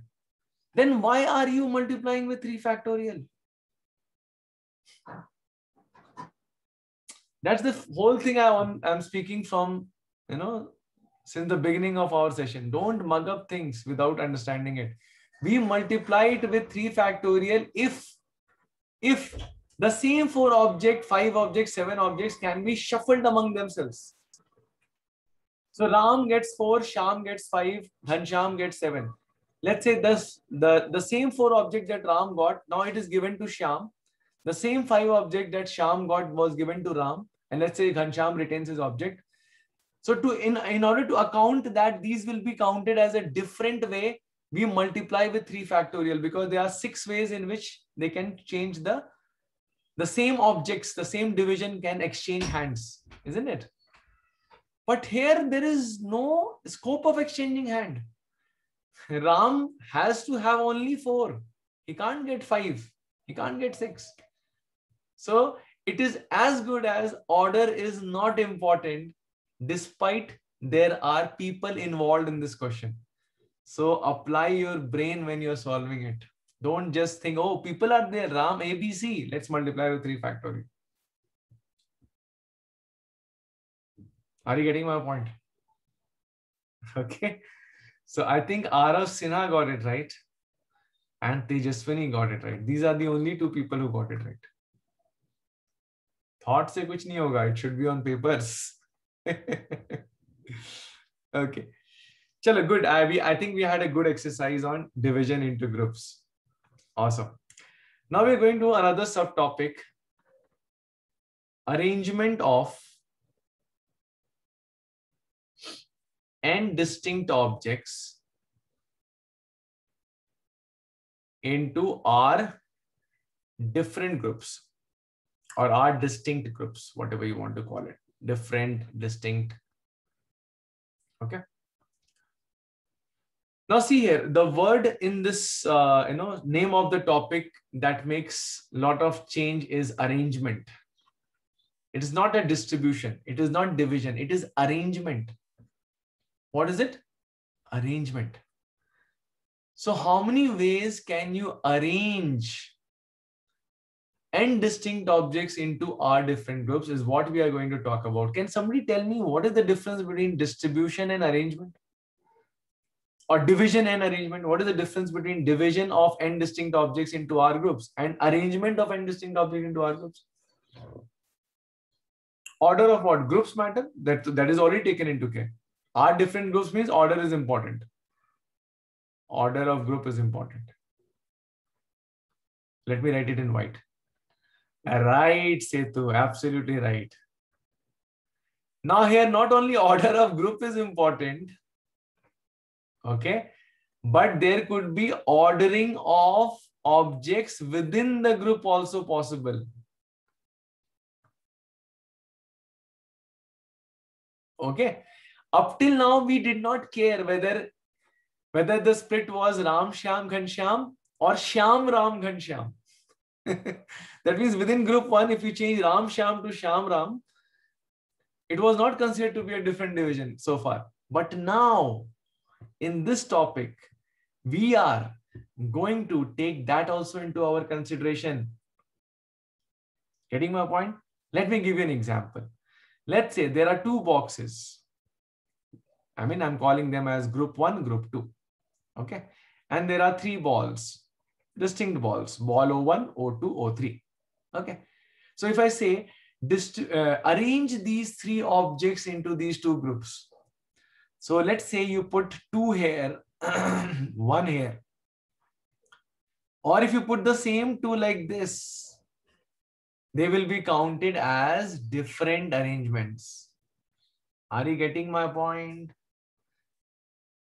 But they would be counted as same distribution. But they will be counted as same division or distribution. Division slash distribution. Clear? Is a difference between arrangement and division slash distribution clear to everybody? Is there anybody who still has a doubt? That means within a group, if you change the position of the objects, it will become a different arrangement. Okay, that is what we are going to talk about in this topic. Okay, all right. Now let me give this as a food of food for thought for you people. How many ways can you arrange n distinct objects into r different groups if empty groups or blank groups are allowed? Blank groups or empty groups, what we call it. Empty means it any group can be empty also. Groups are allowed. How will you solve this question? Think and answer. So think as if there are n different balls and you have to place them into r different boxes. How many ways can you do that? Not only place, you have to arrange in r different boxes where you can also have a group which is blank.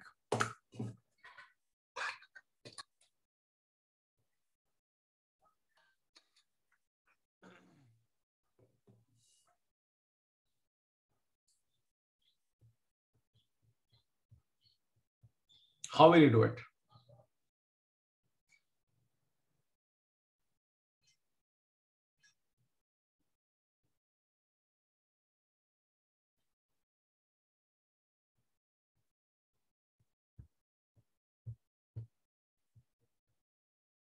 See, theory is theory won't be you know discussed for everything like this. I mean, we are not we are not uh, you know trying to mug up all the types of concept Think as if this is a question and you have to solve it by your existing knowledge, by your prior knowledge. How will you do it?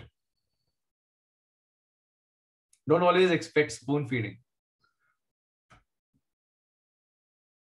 Okay.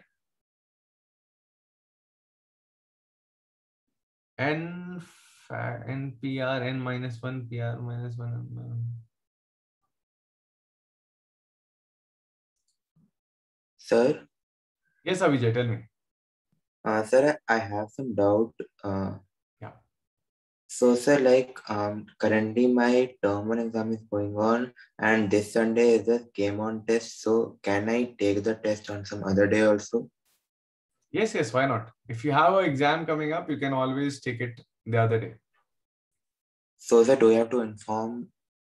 no, it's okay we come to know who are taking the test. We also come to know who have not taken the test. You can take it on some other day also. Not an issue. Okay, sir. R P n plus 1. Asha, if Karthik R is less than n, then your answer goes for a toss. Okay, Nikhil, I would like to hear from you. Why do you think it's n factorial into n plus r c r? Any special reason for that? I mean, you can unmute yourself and talk. Uh, yes, sir. Because you first arrange the n objects in n factorial ways. Okay. And then uh, basically you uh, make it n plus r places, and you put wait. If you want to divide into r groups, you need r minus one Yeah. By n plus r minus 1. Okay. Yeah, then c r minus 1. Yeah, my formula is wrong. No, in this case, there will there will be see. Why did you do n plus r minus one c r minus one? uh Because you need like you, on the left side of the first dash you put, Huh? th- those those many stuff will go into group one. Then between the first dash and the second dash, those many stuff will go into group two. And second dash and third dash, those many stuff will go into group three. So you'll have n minus one dashes in the end. Like with at the end group will go in the end nth group. Okay, I mean, I understood your concern. Can I solve your question in this way? See, as as Nikhil rightly said, in order to divide n objects, okay, into r different groups, you would require r minus one sticks or partitions. Correct? Let's say I take these r minus one sticks, okay? And remember, sticks, when we say r minus one sticks, they will become identical sticks. Now, many people question me here, sir, aren't you dividing it into r different groups? So why are we taking identical sticks? So sticks are sticks being identical doesn't stop the groups from being different. Okay, it just says that if you place a stick, there is a division made by the stick to the right and the left of the stick. Right? For example, let us say I want to divide five objects into three groups. Okay, I'm taking a simple example here. So O1, O2, O3, O4, O5 are five distinct objects, and I want to divide it into three groups, right? So what I do, I take two identical sticks and just place them here. Let's say I place them here, here. Correct? So automatically this becomes group number one. Automatically this becomes group number two, and automatically this becomes group number three. Are you getting my point? So identical sticks do not stop the groups from being distinct. Okay, please remove this false notion in in any in your mind if at all you have any. Okay now see coming back to uh, nikhil's uh, uh, you know thought process. So nikhil is trying to basically say that first of all we arrange these n factorial uh, objects among themselves. Okay and then what he is doing he is trying to make an imaginary place okay imaginary seats of n plus r minus 1 let's say n minus r minus 1 chairs. Right, Nikhil? Yes, sir. Correct. And now he is doing, he is, he is basically making the, making the, I mean, I, I hope you are making this stick sit first, right? Okay. Uh, yes, sir. I'm making the making the sticks first. Yeah. Yeah. So he is basically choosing these many sticks and making them sit. Correct. And remaining places, the balls will already come and they've already arranged themselves among each other. So do you think this is going to give the right answer? In my opinion, this is absolutely right.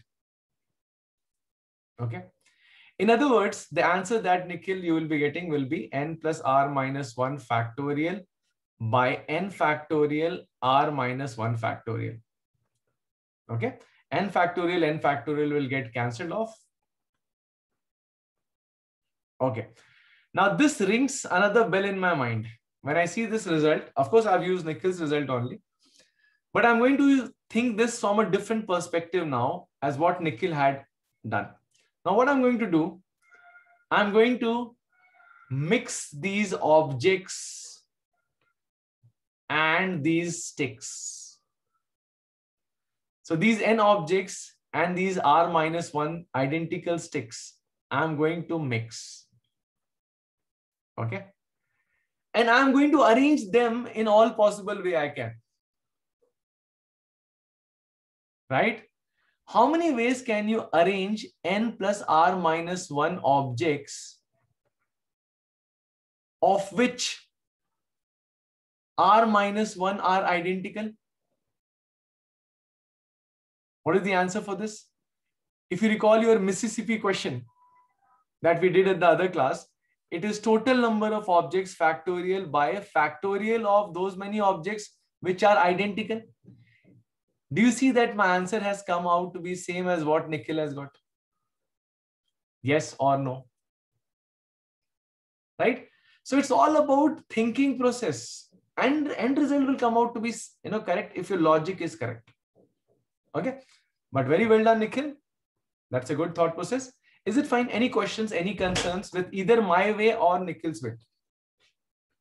Do I like, please.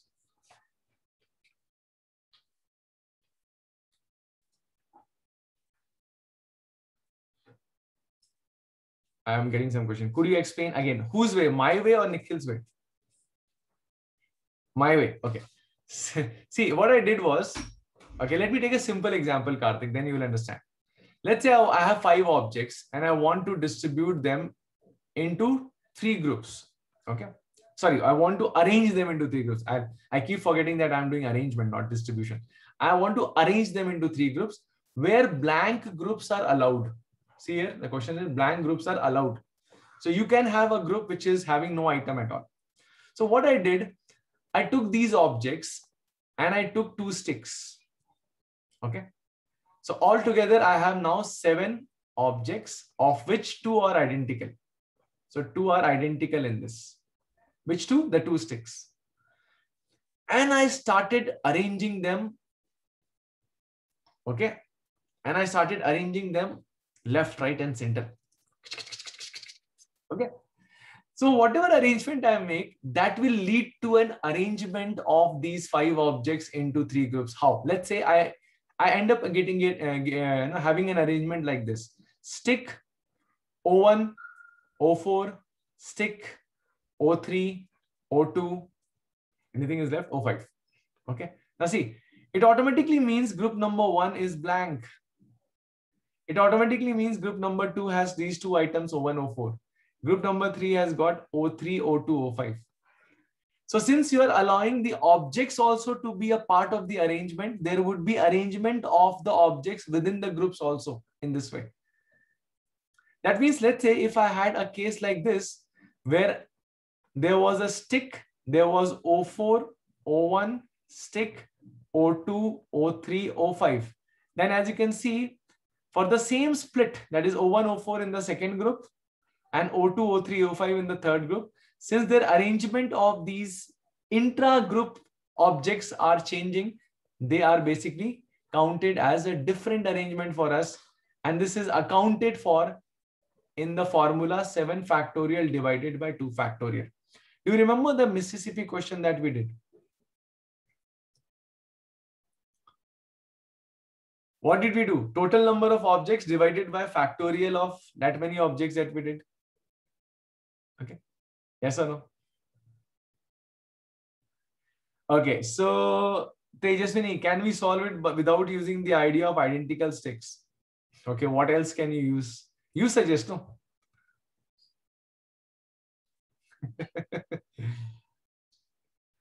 now Nikhil's method was what Nikhil did this thing. Nikhil made seven places. Okay, because he knew that total number of objects plus the sticks will make seven requires seven places, right? So he's now placing these distinct objects and these sticks on these places. Okay. So what he did first, he chose two places where he wants to place his sticks. So let's say he chose he chose this place and he chose this place, right?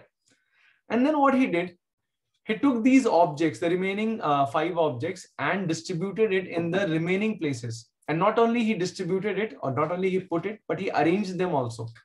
So that can be done in five factorial ways. Yes or no? So when he did that, so let's say O1, O4 comes here, O3 comes here, O2 comes here, O5 comes here, he automatically got 7 factorial by 2 factorial, 5 factorial into 5 factorial. And as a result, it became the same as what I discussed. Clear, Setu?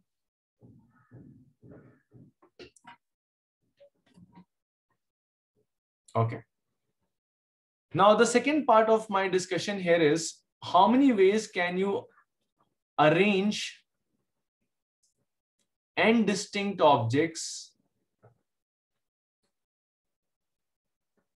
into r different groups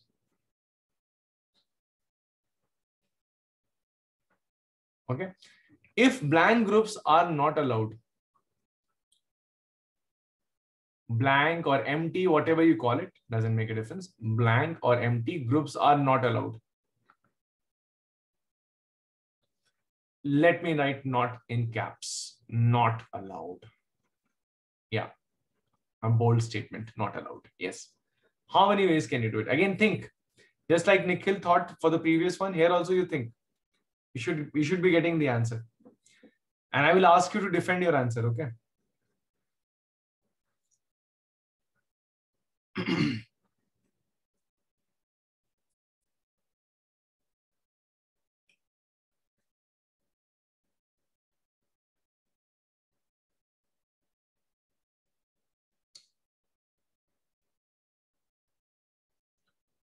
blank groups are not allowed.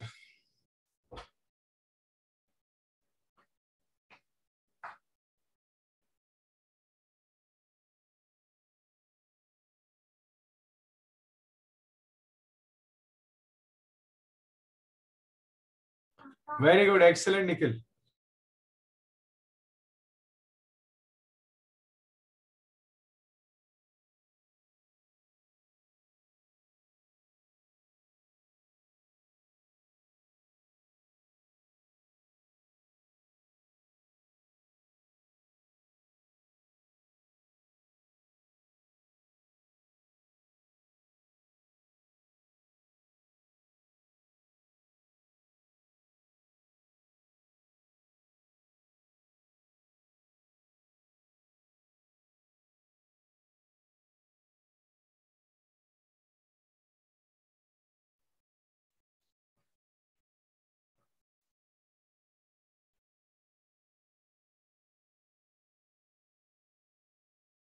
Okay.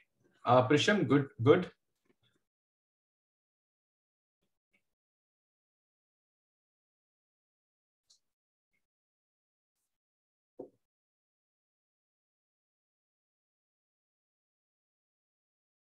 See, now in this case, the situation is slightly different from the previous one in the sense that now these r minus one sticks that you have these r minus 1 identical sticks that you have, they can only be placed in the gaps between the objects. That means wherever I'm showing you the crosses, only there you can place these sticks.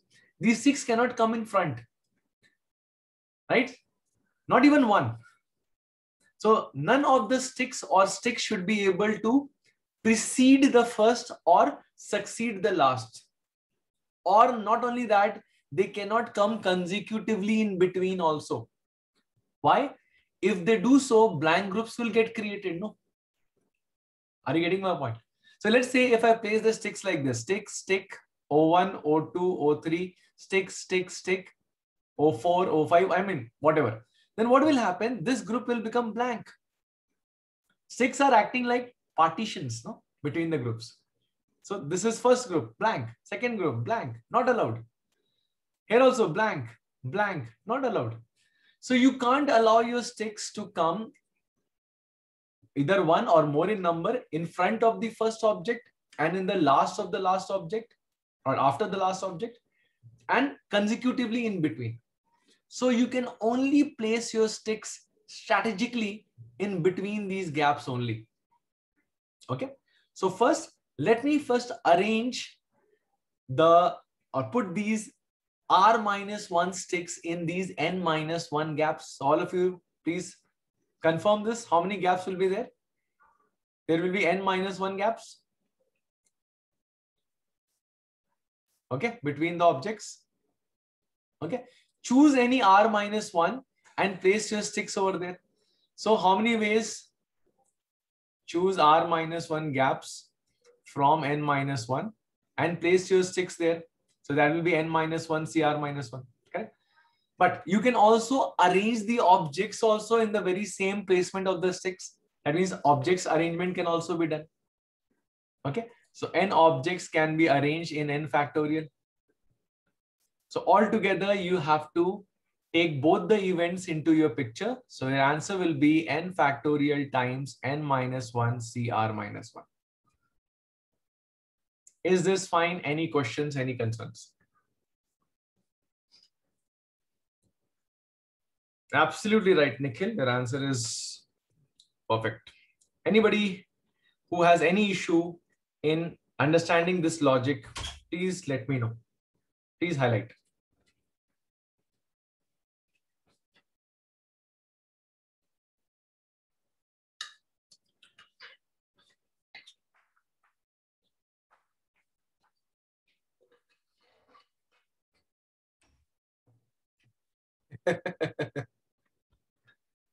formula. Formula for the previous one was n plus r minus 1 factorial by r minus 1 factorial.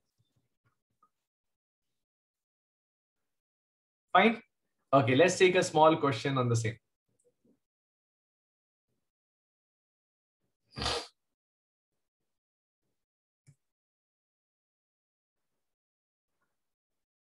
How many ways can five different balls how many ways can five different balls be arranged into three different boxes so that no box remains empty? Yeah, sure, Karthik. I'll go back to the previous slide after this question. Everybody, please give me a response in the next 20 seconds, not more than that. You already know the formula.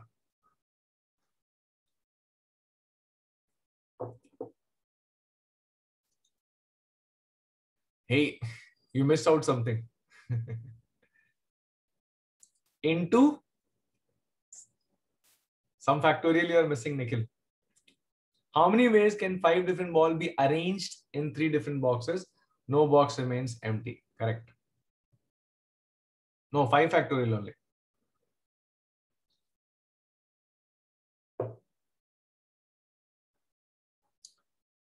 Yes, only Nikhil has given a response so far. What about others?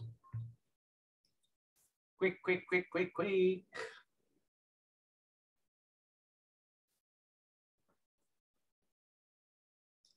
No box remains empty means blank group is not allowed.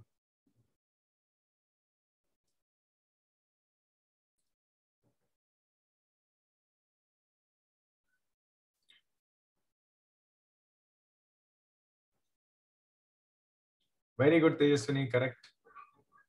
Anybody else?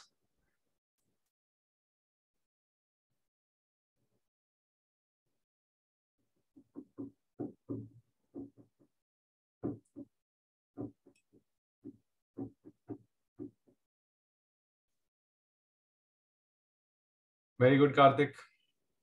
Yeah. So the answer that will be obtained for this is n into n minus 1 cr minus 1. n is obviously 5, r is obviously 3. So use this formula. But again, don't rely on formula. It's better you apply your brain first. Okay. So it's 120 into 6. 720 ways. Is it fine? Any questions? Anybody? Any questions? Okay, let's say I remove this factor. Now, let's say box can be empty. Empty boxes are allowed. Then how will the answer change? Empty boxes are allowed. I mean, we sometimes also call it as arrangement without restriction. That means let there be blank boxes also. Let all the balls come in one box also. No issues, no restriction at all. So how would the answer change? Okay, Manu. So again, think as if five balls and two sticks, because there are three boxes, right? And two sticks. Together, how many arrangements you can make? That is your answer. Just remember this. So what is the answer? 7 factorial by 2 factorial, right? Isn't it? 7 factorial by 2 factorial. Any questions here? So answer will be 5040 by 2. Uh, it's almost uh, 2520, 2520 ways. Is this fine? How can the answer be lesser than when there is a restriction? Without restriction should be more number, isn't it? So it can't be 5C3, no, no. Okay, is it fine? Any questions? All right. Now, the next concept that we are going to talk about is very similar to what we have already done before this concept, division into groups. Oh, yes, yes, yes. Sorry, sorry. So, Karthik, one second. Yeah. The one before this, huh? Oh, okay.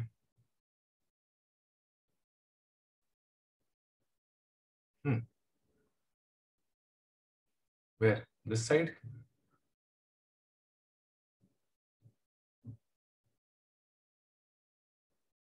Is it the right position of the slide or you want me to drag the slide somewhere else?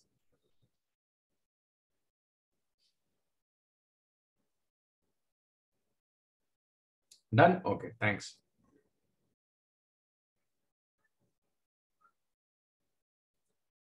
Which ball question? This one only? Uh, so see, let's say you have four ball, uh, five balls, okay, and you want to divide this into three groups using two sticks, correct? And sticks can only come in these positions. So choose any two positions where you want to put the sticks. That's it. There cannot be shuffling of the eh, sticks among themselves because they're identical, correct? And but there could be shuffling of the objects among themselves. That is 5 factorial. Why do you choose r minus 1 sticks? That's a very, very basic doubt you have asked. Okay, if you want to cut a thread into two pieces, how many cuts you make? Tejaswini.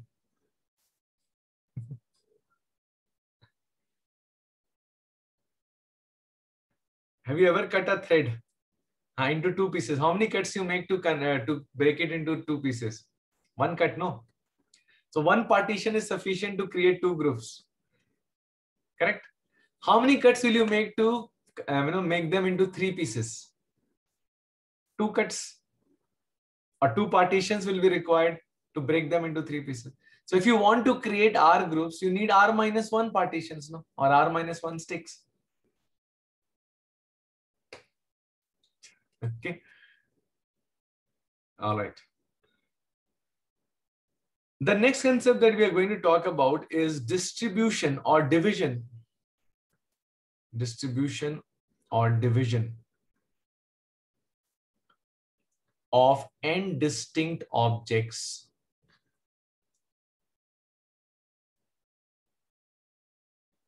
Objects into r different groups. Okay. Now these concepts sound very similar to each other. First of all, distribution and arrangement, people think they are same. They are not actually. Okay. Now, when somebody, when you read this, you'll say, Ayo, sir, we did this. Didn't we do the division of objects into groups? Isn't it the same thing? Of course, there are many things which will be similar, but there will be some certain things which will be new to this concept or very pertinent to this concept. For example, when we were dividing the objects into groups, was there any case where some group had zero items? No, right? Now this, this concept, we will have zero items. Okay. In the previous discussion, our group's order may not be important, but here order is definitely going to be important. So this, this you can think to be more robust, okay, as compared to the previous one. So here, even the blank groups can be allowed. That is the difference between this concept and the previous concept. Okay. So let us try to discuss this uh, before our break. So I'll take, I'll divide this topic into two cases. The first is where blank groups are allowed. One groups are allowed. Now, mind you, here you are only doing distribution. Okay, no arrangement.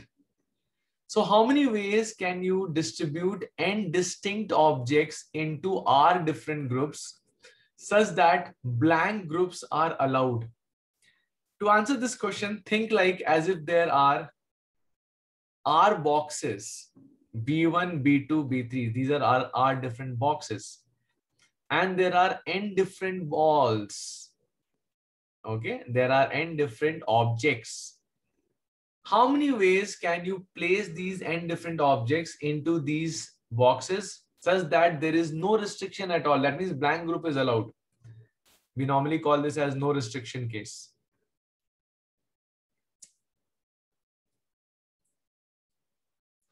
This is actually a question which you can solve from your understanding of your first class only. Very simple. Absolutely right, Nikhil. See, answer comes like this, fraction of a second. Conceptually, you should be sound. That's it. Come on, I am waiting for others also to respond. Just one person responding is not, I don't feel happy with that. I feel happy when multiple people get right. Yes, Tejaswini, try. Manu, Karthik, Karthik Sanoj, Setu, Prisham, Vaishnav, Arav, Sharduli.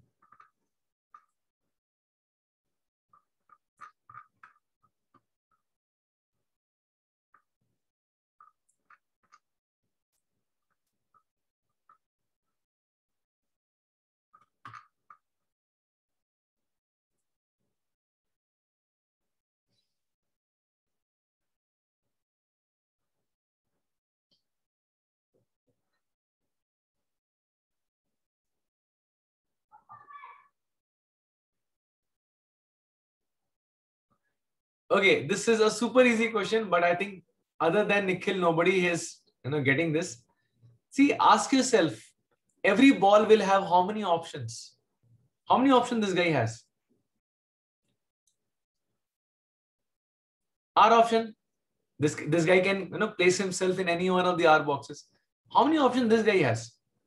Achha, many people here think one box can accommodate only one ball. No, any number of balls can go to any box.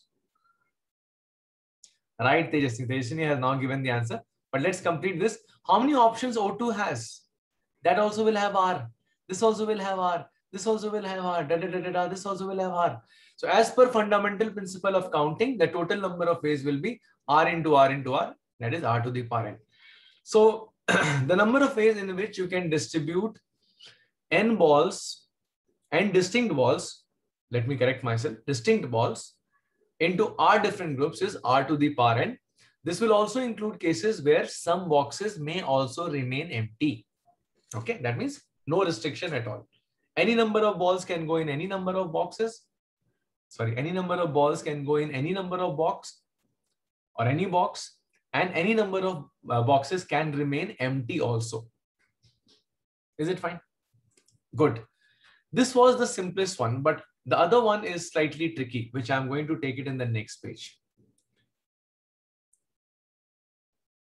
How many ways can you distribute these n distinct balls in these r different groups if blank group or empty group is not allowed? Is not allowed. Okay, think and answer. Think and answer.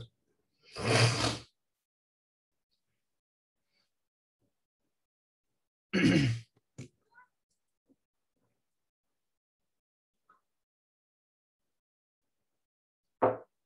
you go to the previous slide? Yes, why not?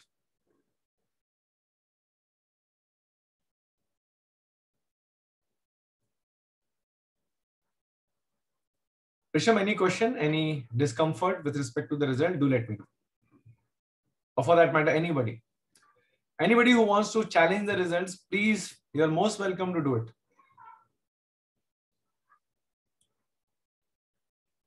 So if you feel no, sir, I feel there's a different way to do it. This is not going to work, or this is going to give me erroneous results. Please bring up such kind of discussions and debates that will add more value to the class rather than being a monologue from my side. okay, say two. Mm, okay, I'll come back to you. I'll ask the reason for that you know, answer. Let me hear it out from others as well.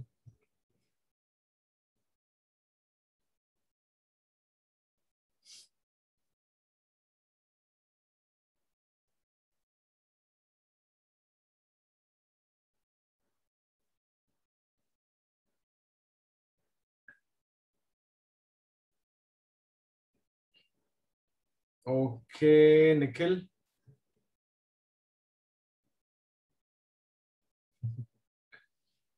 Okay, the, the answer that is going to come out for this is going to actually blow your mind off. it's, it's slightly complicated. But I will first tell you the normal approach which people take to solve this question. Okay. Then I will tell you what is wrong in that normal approach. See, I have to distribute n different balls into these r different groups. Okay, there are n different balls and there are r boxes. B1, B2, B3, da da da da da till BR. Okay. Now I don't want any group to be empty. So what do I do? I pick one, one, one ball and put it in these boxes first of all. Correct? So let's say I choose R balls from these N balls. Correct?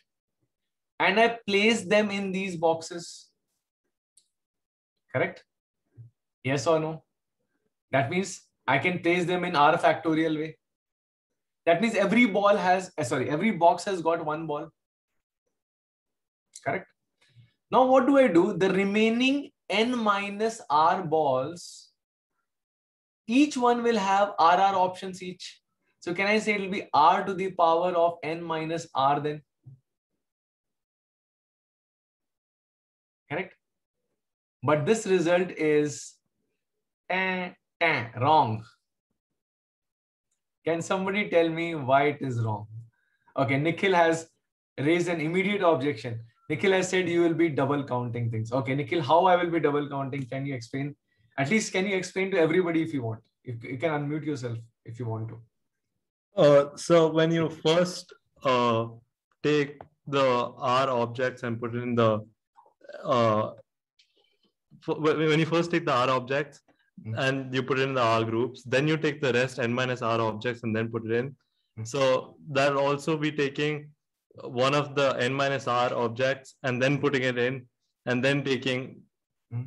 so so you'll be double counting some stuff so i don't know how to explain it okay i'll, I'll help you out see what nikhil means to say let's say I'll, I'll give a simple example let's say out of these r objects which i selected i selected let's say ball number two okay and i put ball number two in box one okay and let's say in these n minus r objects there was ball number uh, 10 let's say I'm just assuming.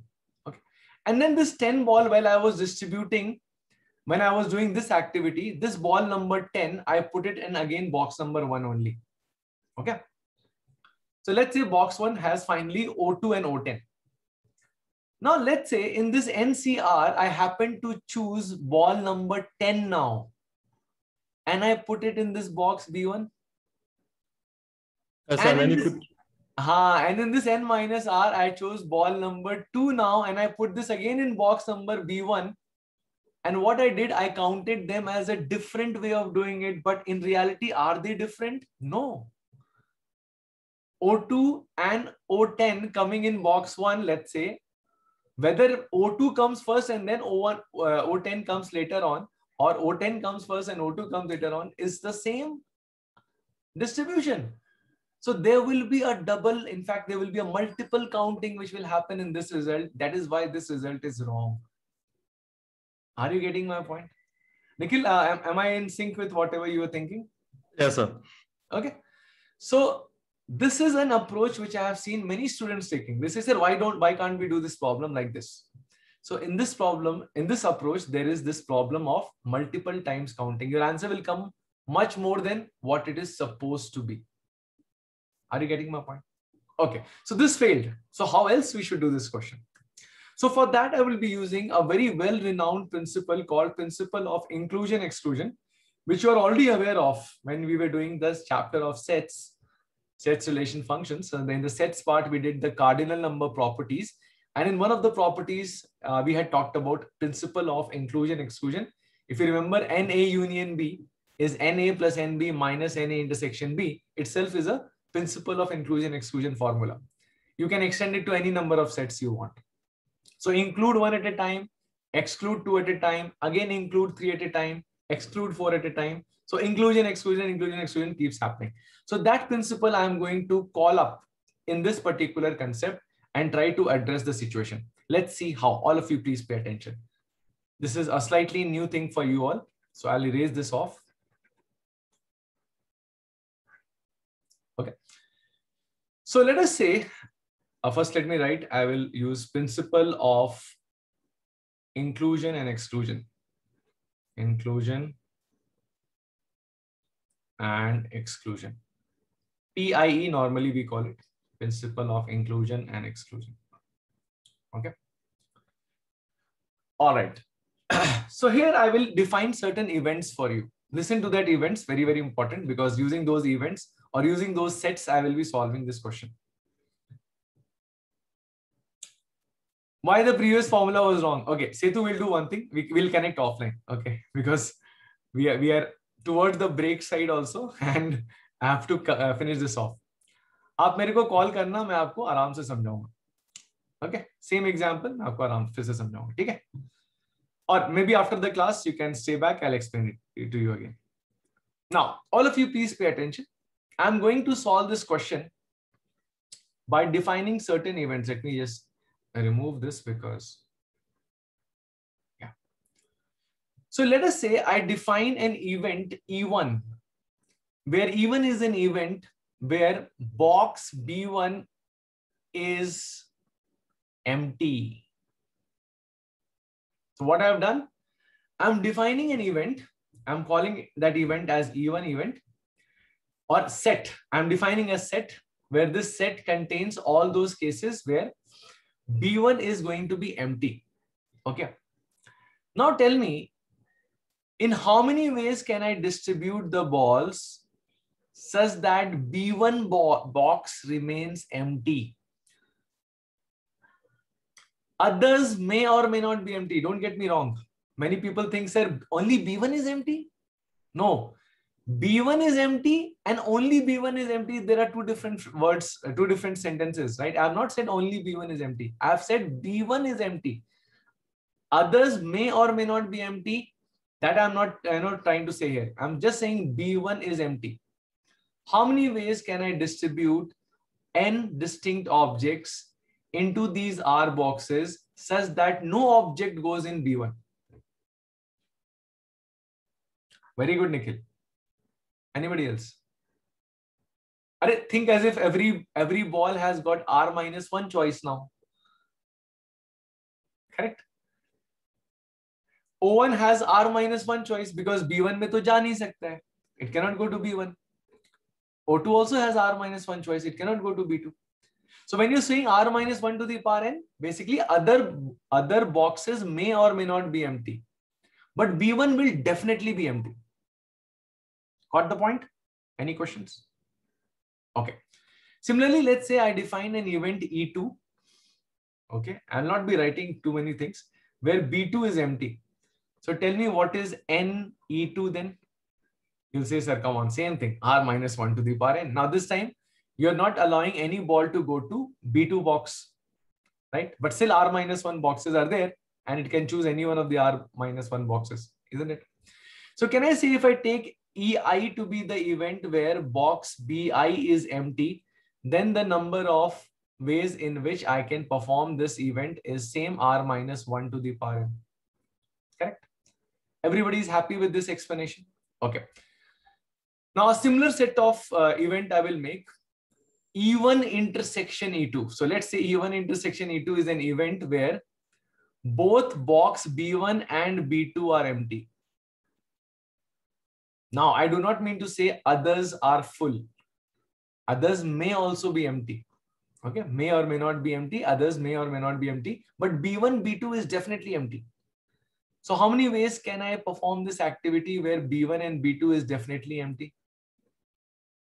right person so r minus 2 to the power right so i'll just quickly generalize it so if i define an event like ei intersection ej where this event says bi and bj are empty. Then the number of ways to do this activity will be r minus 2 to the power n. Okay in general i'm not taking a lot of time. So similarly if i say let's say EI intersection EJ intersection EK is the event where these three boxes BI, BJ and BK are empty. Okay, rest may or may not be empty. Then the number of ways in which I can perform this activity is R minus 3 to the power n. And so on, tuck, tuck, tuck, tuck, and so on. Correct? So you can have now four, four boxes empty, five boxes empty, six boxes empty, etc., etc. And accordingly, your answer will change. Okay. Now, some of you will be wondering, Ayo, what does sir want to do here? I'm not able to understand. Now, let me connect the dots. Let me give you now the complete picture. What are we looking for? We are looking for those cases or the number of those cases where box B1 is not empty and box B2 is not empty and box B3 is not empty da, da, da, da, da, till box R is not empty, isn't it? This is what we need. This is the need of the question, isn't it? Right? What does the question say? I have to distribute the balls in such a way that empty boxes are not allowed. So I have to count those events where box B1 is not empty and B2 is not empty and B3 is not empty, da, da, da, da, da, and BR is not empty. Yes or no? Yes or no? Correct? Now, as per De Morgan's law, this expression, can I not write it like this?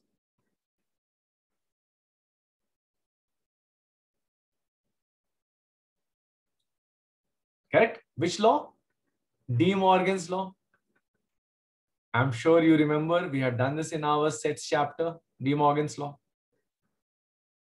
Correct? And not only that, by using your cardinal property, you can say n universal set minus n E1 union E2 union da da da da da till ER. Again, from your cardinal number properties, we can say summation one at a time, that is n E1, n E2 da da da da da till n ER okay minus summation of intersection 2 at a time see i'm not writing it i'm just telling you. Then plus summation 3 at a time intersection. Okay i'm not writing da, da, da, da, i'm just putting it. Okay. So please note this is the formula that you had already learned dot dot dot. This is the formula that you had already learned in your cardinal number property. Remember A union B union C, how many number of elements were there? NA plus NB plus NC minus NA intersection B minus NB intersection C minus NC intersection A plus NA intersection B intersection C. So you add one at a time, then subtract two at a time, then add three at a time like that. So that same thing I have scaled up to R sets. Right? Any questions so far? till this step anybody has any issue please highlight let me make a partition here also okay now what is nu how many ways can you distribute the balls where blank groups are allowed not allowed means no restriction at all what is the answer r to the power n we had already seen that minus can I say NE1, NE2, etc. till R times will be just R times R minus 1 to the power n? In fact, this R, I will write it as RC1. Why? Because you are picking that one box out of those R boxes which you want to be empty. So that itself can be done in RC1 way. So RC1 and this result I am multiplying, this result which you told me, R minus 1 to the power n. In short, I'm adding all these. That's the same thing as saying R, RC1 into R minus 1 to the power n. What about this? How many intersections of 2 at a time you will get? You will see, sir, there will be RC2 such terms and each one will be, or, and each one of these expressions will be R minus 2 to the power n. Okay. Similarly, the next one will be RC3, R minus 3 to the power n. Yes or no? Okay minus dot dot dot. It will continue till ever it goes. So this is the formula. This, I mean, ugly looking expression. I would, I would call it as ugly looking because it doesn't look that you know good to see. So this expression is the formula for finding the number of ways in which you can distribute n distinct objects into r different boxes or r different groups where blank group is not allowed. Very useful formula Okay, you will use this formula in your functions chapter also next year to count number of onto functions. See, uh, Setu, each of these terms is what? R minus 1 to the power n. Let me write it in some different color once again. This is r minus 1 to the power n. This is also r minus 1 to the power n. This is also r minus 1 to the power n. So how many r minus 1 to the power n's you would have written?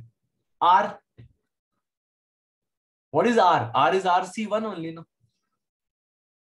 Is there any difference between r and rc1? Similarly, this term is what? r minus 2 to the power n. Next term would also have been r minus 2 to the power n. So how many 2 2 intersections you can get? That means in short, how many r minus 2 to the power n's you will get? You will say, sir, rc2 times I will get. 2 at a time, दो उठाना है ना r में से. So how many combinations are there? rc2. So rc2 times r minus 2 to the power. Same with this. So this is r minus 3 to the power n. Next one will also be r minus 3 to the power n. So how many such terms will be there? RC3 terms will be, such terms will be there. So RC3 times R minus 3 to the power n. Got the point? Okay. Now, a good news here is in your school, in your uh, competitive exams, normally the figures are such that you can also solve the question without the use of the formula. That means just by your understanding of division that you have learned you know, a little while ago, you can solve the question. So, sir, does this mean this formula is optional for us? To a certain extent, yes, this formula is optional for you. But many cases I have seen that if you know this formula, life becomes easy. Okay. So logic, of course, you should be you know, knowing it. Remembering this formula is just a bonus activity. If you happen to remember it, well and good. Okay. I will immediately take a question on this uh, before I give you a break, I understand most of you would be eagerly waiting for a break. Just one question I will take on this.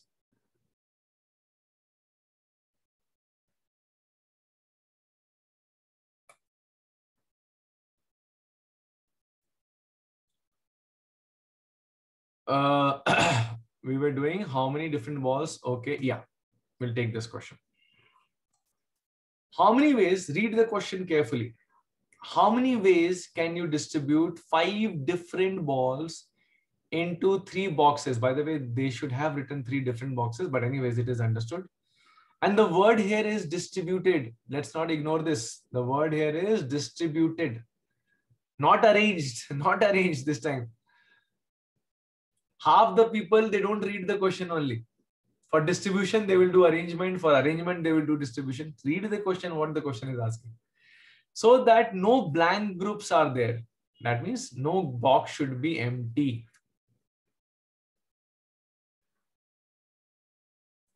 Very good, Nikhil.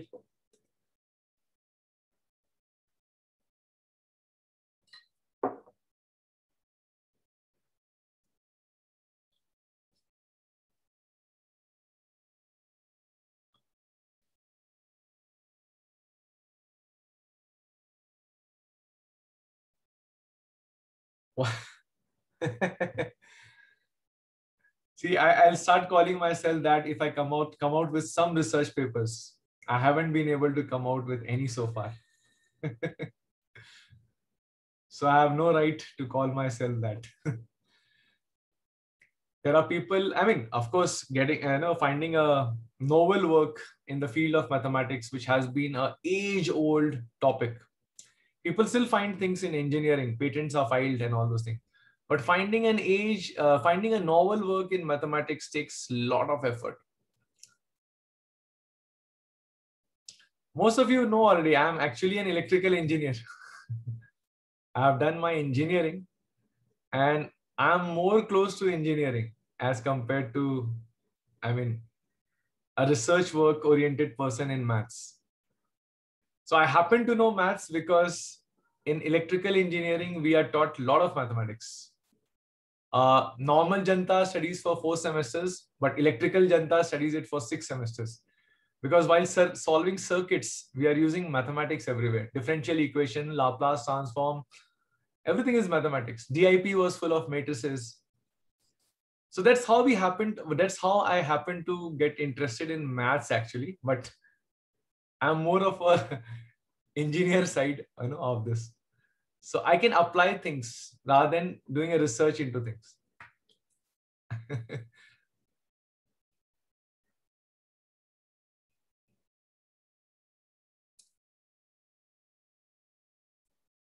uh, okay, Karthik, we'll do that. See here, uh, again, the if you want to use formula, let's say I'm a person who happens to remember formula. Good day for me. Okay. And I remember, oh, I know the formula for this. I can solve it. So the answer, see here, n is 5, r is 3, right? So if you recall the formula which I derived, it was r to the power n minus rc1, r minus 1 to the power n, then minus rc2, r minus 2 to the power n, then plus rc3, r minus 3 to the power n, minus da da da da da. I mean, I'm not writing all the terms. Achha, dot dot dot doesn't mean it is going to infinity. Dot dot dot means till where r permits it to go. Okay. So r is 3, n is 5. So this is 3 to the power 5. This is 3c1, 2 to the power 5. Or let me write it in more, you know, broken up version. This is 3c2, 3 minus 2 to the power 5.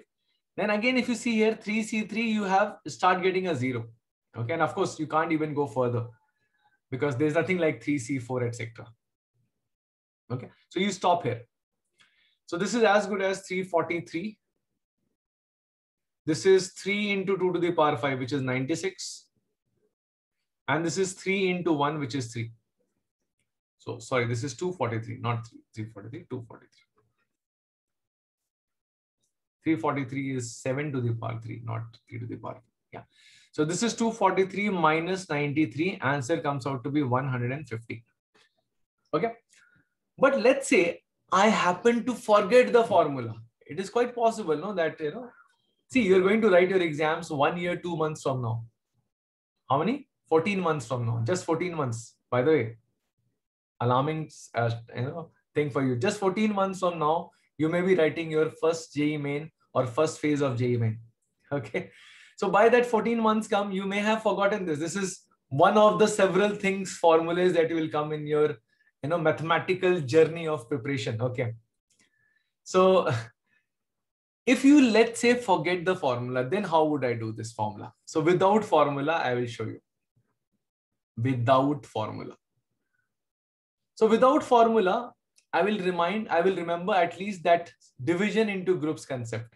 So I have to divide five group, uh, five distinct objects into three groups with no group blank. That means I can have following possibilities. 5, 1, 1, 3. Or I can have 5, 1, 2, 2, right? Is there any third possibility? No, right? Correct? Now, if the groups are different, is the order important while you are making these divisions? Yes or no? Order is important or not? Right, order is important. Correct? So how many ways can you do this first case? Setu will tell me. Setu, tell me the result for this. Unmute yourself if you want to. How many ways can you divide five distinct objects into three groups, two of them having identical number of objects and order is important? Tell me. Tell, tell, tell, tell, tell. So 5 factorial by 3 factorial into 3 factorial. No, one second. 5 factorial into 1 factorial, 1 factorial. Now here, since two of them are equal, uh, into 2 factorial and again 3 factorial and into 3 factorial. See, so many things you have to account for. Why this 2 factorial came? Because two groups were identical in size or equal in size. Okay. Why this 3 factorial came? Because order is important. Are you getting my point? Or means plus. Then again 5 factorial by 1 factorial, 2 factorial, 2 factorial, still one more 2 factorial. Why? Because these two groups are of equal size. Okay. Into 3 factorial because order is important. Let's see whether this adds up to give us 150 or not. So first of all, here I will end up getting 120 by 2, which is 60. And here I will get 120 by 8 into 6. 120 by 8 is 15. 15 into 6 is 90. See, same answer, 150 base. So whether with formula or without formula, you can still solve this question if your basics of division is clear in your mind. Is it fine? Any questions, any concerns? Okay. Here we are going to take a break, quick short break of 15 minutes. Uh, right now it's this, we'll meet exactly at 6.44 p.m. after a 15 minutes break. Okay. We'll see, uh, I'll see you with more concepts on the other side. Till then, enjoy your break.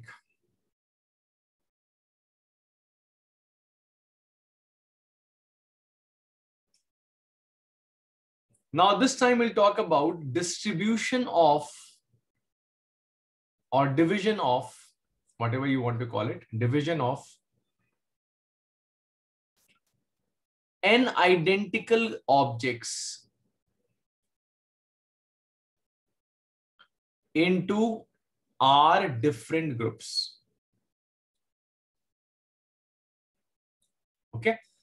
So here the only difference from the last concept is that the objects now are identical, not distinct. Okay, so we'll be now talking about this. Now many people say, sir, uh, what about arrangement of n identical objects into r different groups? Now you tell me why I have not talked about arrangement of n identical objects into r different groups. Does it make sense to talk about arrangement of identical objects? Does the ordering of those identical objects really create any difference? Does it really create any difference? See, I talked about arrangement of n distinct objects into r different groups. Then I talked about distribution of n distinct objects into r different groups. But for the case of identical objects, I directly started with distribution of n identical objects into r different groups. Why did not I talk about arrangement of n identical objects into r different groups? Because arrangement of identical objects doesn't make any sense. What will you do? If you shuffle the position of these identical objects, will it create any difference to the arrangement? It is not going to create any difference. So we do not talk about arrangement of n identical objects into r different groups. We only talk about distribution of n identical objects into r different groups. Okay. So let us begin with again two cases. Case one, blank group is allowed. Blank group is allowed. Okay. So how many ways can you distribute n identical objects? As you can see, I'm not putting any subscript on them. So these are n identical objects. Okay. And you want to distribute them into r different groups, r different groups, such that there is no restriction. That means blank groups are allowed. How many ways can you do that? Can somebody tell me? And also let me know the logic behind whatever answer you are getting. Very good, Nikhil.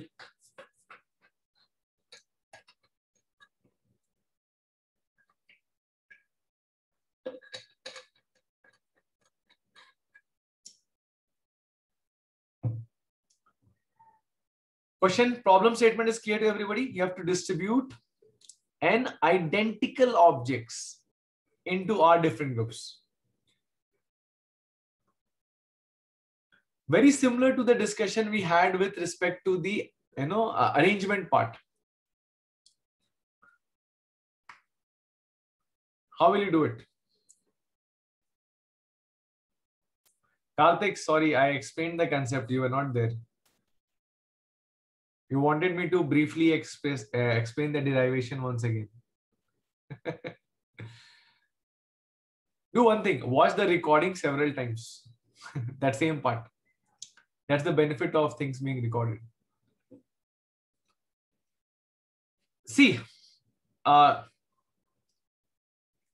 we'll solve this question in two ways. One is consider that since you are dividing it into r different groups, we will consider that there is r minus 1 identical sticks. Okay. So these sticks are like the partitions which will help you to create groups. Okay. Now, two ways to think it. One is by Nikhil's method. Sorry, Nikhil, I am giving that method your name. Nikhil's method, where you are considering that there is n plus r minus 1 chairs. Okay, why n plus r minus 1? Because n identical objects are there. and r minus 1 sticks are there. Correct. So on these n plus r minus 1 chairs, you place your sticks first or you place your objects first, doesn't matter. Okay. So let's say I place my sticks first in r minus 1 places over here.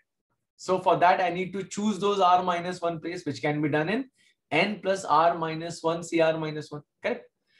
Now, the remaining place, I'm going to put my objects. Okay?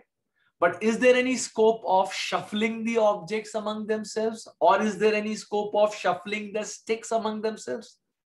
No, because they are identical. So this one and one shows that there's only one way you can place the objects. Okay. Just whatever seat is left, you have to put your objects, nothing else you can do. Okay. So your answer is going to become just this expression, which is n plus r minus 1 cr minus 1, which is also the same as n plus r minus 1 cn. Both of them are the same things. So please note this down. This is the total number of ways in which you can place n or you can distribute n identical objects into r places where where blank groups are allowed.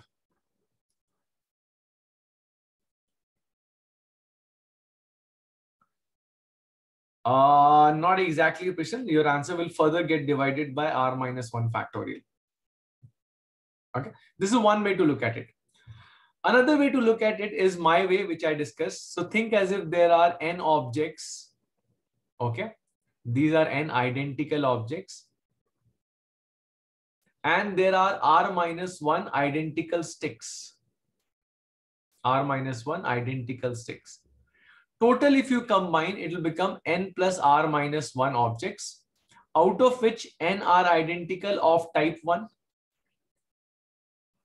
of one type. Okay. And r minus 1 are identical of another type. Something like the Mississippi question. Okay. So how many words can you make from the letters of the word Mississippi where there is a repetition of, let's say, four I's and four S's and two P's? So normally what do you do? You take the total number of alphabets, factorial, divided by factorial of the uh, letters which were repeated.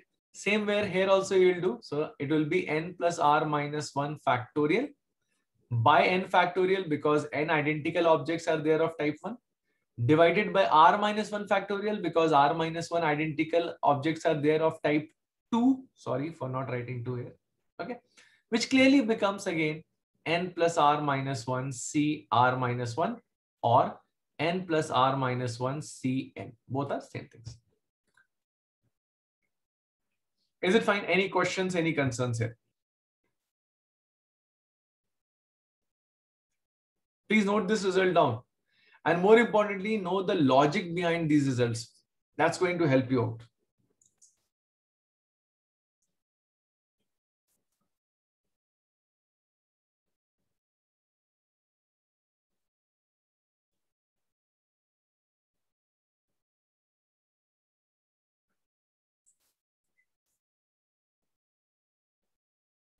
Okay. All right. Now let's take the case where Arey, uh, Setu, see, you have these many seats. Seats पे आप sticks बैठाओ पहले। कितने veg पे आप sticks डाल बैठा सकते हो? इतने you have these many seats and you have to place R minus one sticks on them how many ways can you do it and all the sticks are identical.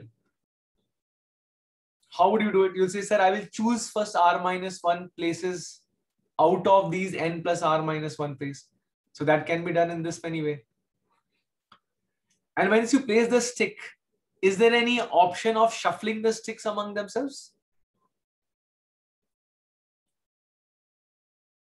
Let's say stick one, stick two position you changed. Will it create a different way of sitting? No. Why? Identical, correct? Now, whatever place is left, what will you do? You'll make the n balls go and sit there. Okay, distribution. Distribution is automatically performed.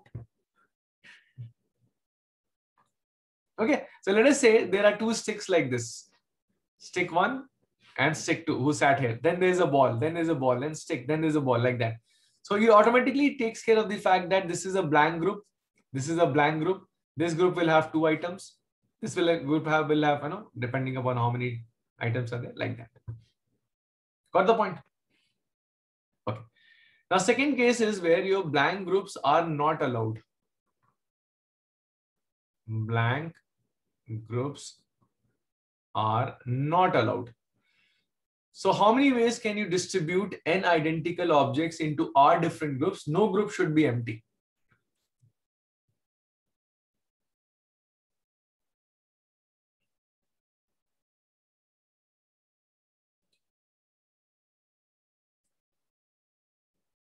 Very good, Nikhil. I want others to think. Most of you are not thinking. You're waiting for me to give you the final result. That is not going to help you out. These concepts are not coming from sky. These are all coming from the logic, basic uh, concepts that you have already learned before. You're just applying it.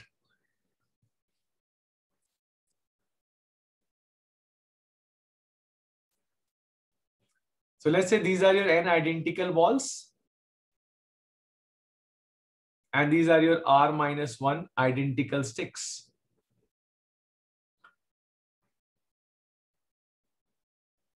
You need to place these sticks in such a way that you don't place any number of sticks in front of the first ball or any number of sticks behind the last ball or after the last ball. And you should not put any consecutive sticks in between also.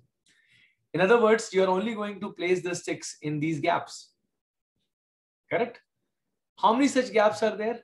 N minus 1 gaps. You have to choose R minus 1 of them. And that's it. There's no scope of now arrangement of either the sticks nor the balls because they're all identical. So that's it. This is the answer to this question. Is it clear?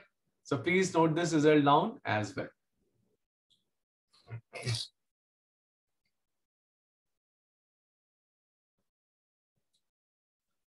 Is it fine? Any questions here? If you have, do let me know.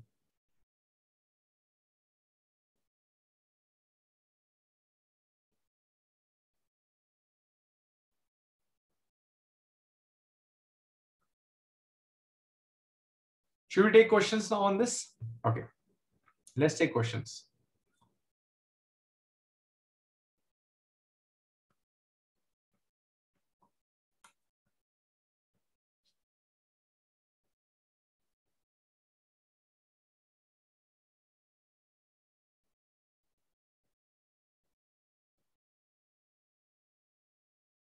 Four boys picked up 30 mangoes. In how many ways can it, they divide them if all mangoes are identical?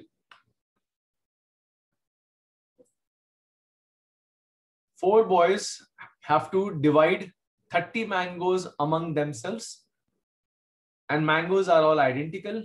How many ways can they do the division? Give me your answer in terms of C only. I mean, something, see something.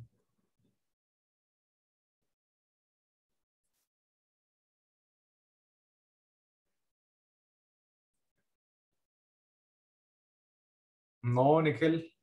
Think once again.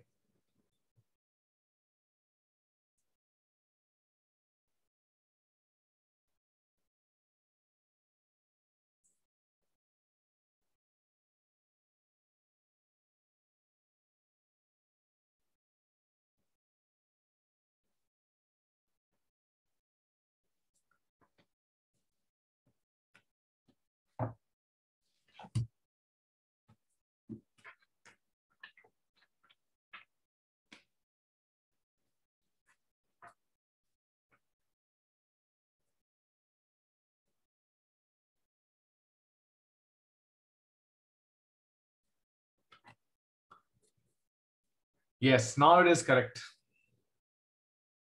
So is this a case where blank group is allowed or this is a, or is this the case where blank group is not allowed?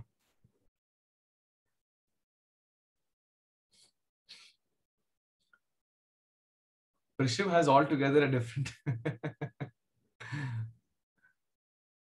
Listen, why, why are you doing 3 factorial? Okay, chalo, I understand the first part is wrong, but even the second part is wrong. Why did you do 3 factorial? Can you, can you tell me the reason for multiplying with 3 factorial?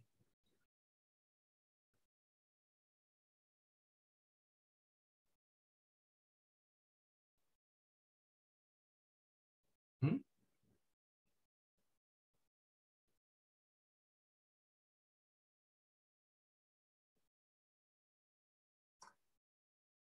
We just now discussed that if you had n objects and you're dividing it into r different groups and your objects are identical, the number of ways in which you can do it such that blank groups are allowed. So in this case, there could be a boy who could get no mangoes at all, isn't it?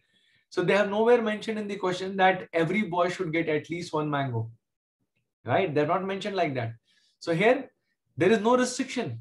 That means you can distribute any number of mangoes, of course, limited to the maximum value, to any boy you want.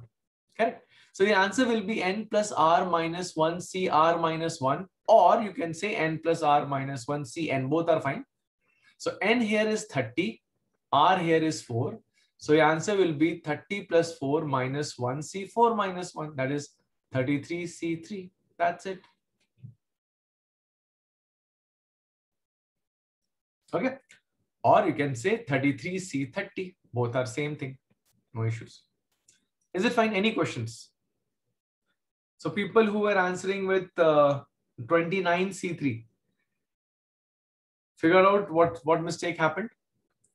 Okay, you basically were considering that everybody should get at least one mango, which is not the case. Okay, let's take this question.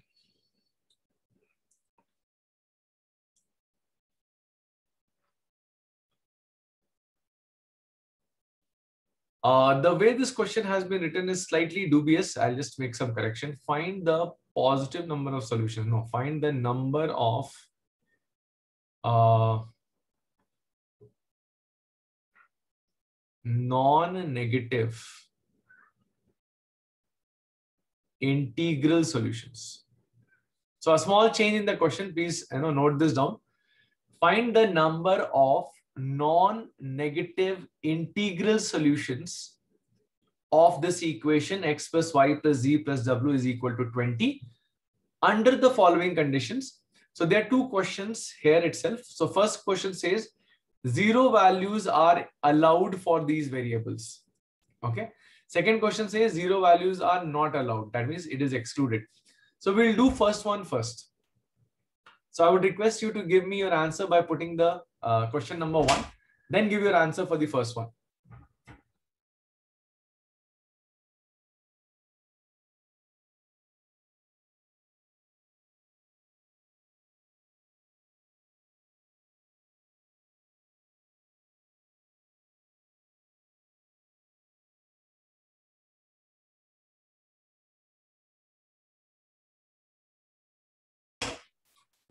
Okay, very good, Nikhil.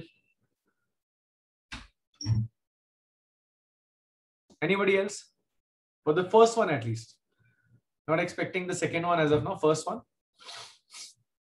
Is this situation as good as saying I'm distributing 20 identical objects into four different groups? And zero values allowed means blank groups are allowed. Do you agree with that, first of all, or not? If anybody doesn't agree, do you please let me know? Right. People agree with this, isn't it? So think as if there are there are four children and you're distributing 20 identical chocolates. Such that first guy gets X, second guy gets Y, third guy gets Z, fourth guy gets W chocolates. Okay. So altogether there should be 20 chocolates. And it could happen that any guy could get no chocolate at all also. Right? So first situation is as good as your blank groups allowed and you're distributing 20 identical objects into four different groups. So n is 20, r is 4. So answer is n plus r minus 1, c r minus 1, which is 20 plus 4 minus 1, c 4 minus 1. The answer is 23, c3. Absolutely right. Next one. Zero are excluded means blank group is not allowed. Blank group is not allowed is n minus 1, c r minus 1. That's obviously. 19 minus 1 C 3 minus 1. Oh, sorry, 4 minus 1. That's 19C3. Is it fine? Any questions?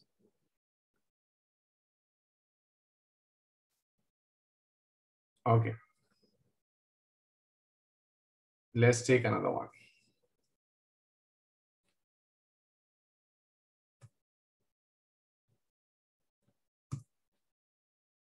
Okay.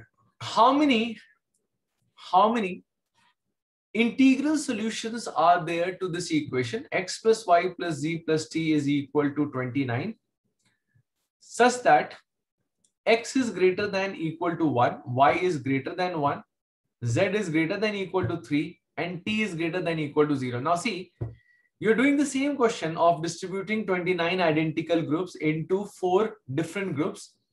But in this question, you have been provided with a lower limit on the number of items you must give to these groups. That means the first group has to get at least one item. Second group has to get item greater than one. Third group has to get item greater than equal to three.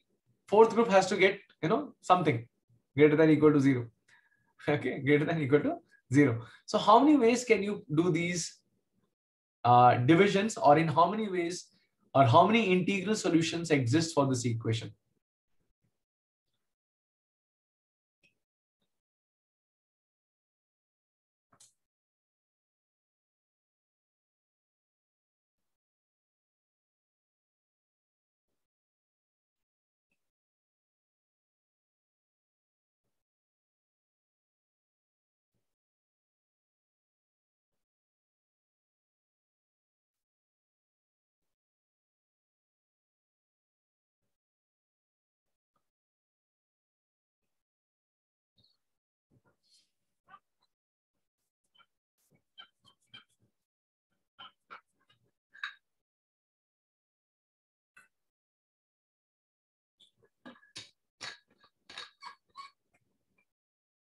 Any response?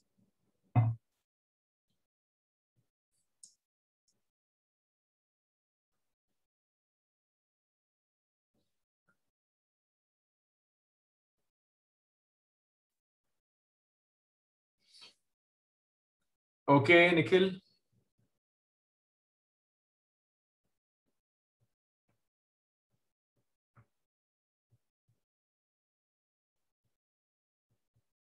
Okay, let's give a dramatic situation to this particular question. Okay, let's say X is the number of sweets you're giving to, let's say, person P1. Y is the number of sweets you're giving to P2. Z is the number of sweets you're giving to P3. T is the number of sweets you're giving to P4. Okay. Now, P1 is a person who is coming and saying to you, hey, uh, you know, please give me, you know, at least one sweet because, you know, maybe I have, uh, you know, a child at home who would, who would need that sweet. Okay. So at least one sweet, you please give it to me. Okay. Similarly, you know, P2 person makes a request. Hey, please give me at least. Acha, by the way, greater than one is as good as saying greater than equal to two. Okay. So when, when you talk about integers and you're saying greater than one, you can only go to from two onwards, right? So this guy needs two at least. Okay. Similarly, the person uh, P3, he needs at least three sweets. Fourth person doesn't have any obligation. You don't give him anything also, he's fine. Okay. So what you do is you, you know, give this person P1 one sweet. Okay. You take, you wanted no one sweet, at least take one sweet. Okay. You gave two sweets to the person two. You gave three sweets to the person three. Correct. Let's say you have already given these one, two, three. That is the bare minimum requirement that they have to these students, to these uh, people. Correct. So once you have given one sweet to uh, person one, two sweets to person two, and three sweets to person three, you are already given six sweets. Correct now? Or six identical chocolates. So ultimately, you are left with only three, 23 identical chocolates only. And now what you're doing, these 23 identical chocolates, you are distributing to these four people without any restriction. So let's say the first guy gets capital X, second guy gets capital Y. I'm not changing the variable here. Okay, so instead of small x, small y, I'm putting capital X, capital Y just to keep those two equations different. So now here you are trying to distribute the sweets such that blank groups are allowed. Blank groups are allowed. Correct. So how many ways can you do this? So n is 23, r is 4. So as per the formula, it is n plus r minus 1 cr minus 1. So answer is 26 c3. Is this fine? Any questions, any concerns? Any questions, any concerns here?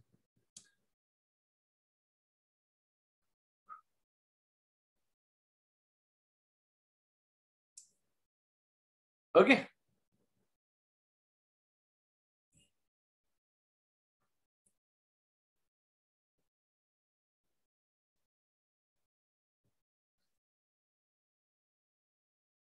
Is it fine? If you have any questions, do let me know. Okay.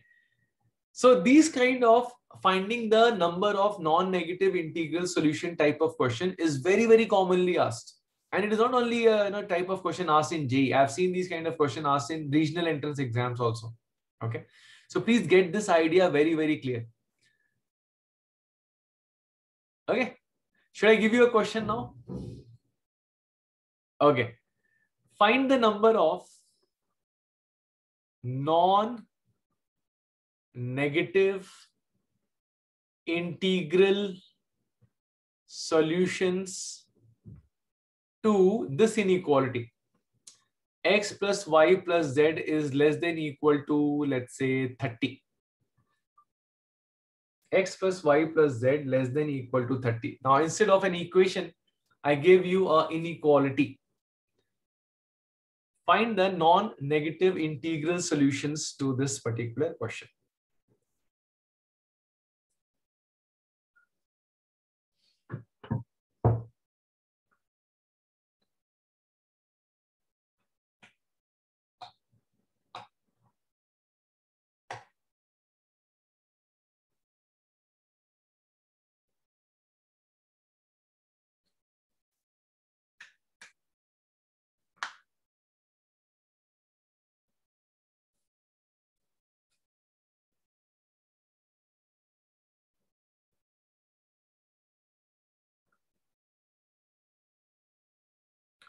Tejaswini, you are listening half hazard. You already gave one to the first guy, two to the second, and three to the third. Six sweets are gone, no? Because the first guy had a requirement of x greater than equal to 1. Second guy had a requirement greater than equal to 2. Third guy had a requirement greater than equal to 3. So minimum requirement is 1, 2, 3. So you gave it to them first of all. In the beginning only you gave it. There is only one way to do it. Take one sweet, give it to that guy. It doesn't matter which one you are taking. All are identical. So that remaining six sweets that you're talking about, that is not remaining. That was already taken care before we started the distribution of that 23 objects, 23 identical sweets. To your question, I did not understand. Uh, better you phrase it in a proper way or you speak out.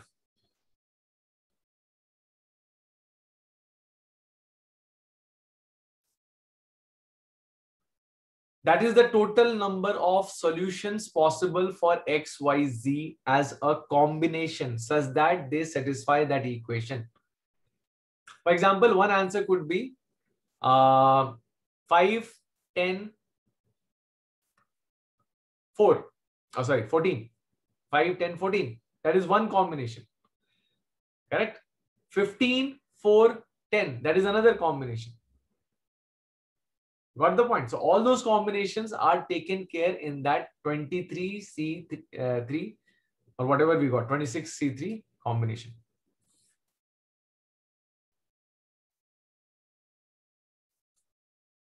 Four to the power 30. Achha. Can you justify your answer, Prasim? Why 4 to the power 30? Why not 7 to the power 30? Why not 100 to the power 30? some random answers you are giving since morning, since afternoon today.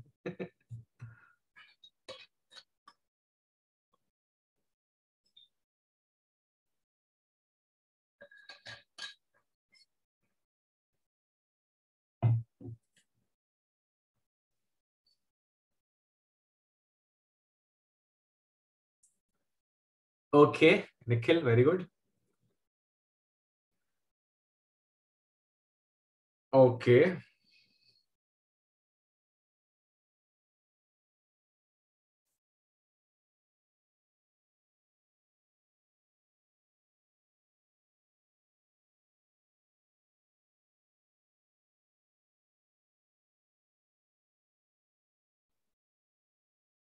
Anybody else? Okay. See, this question can be solved in two ways.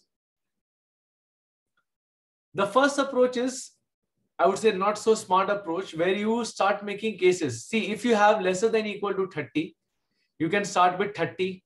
Okay. You find the number of solutions for this. You find the number of solutions for this.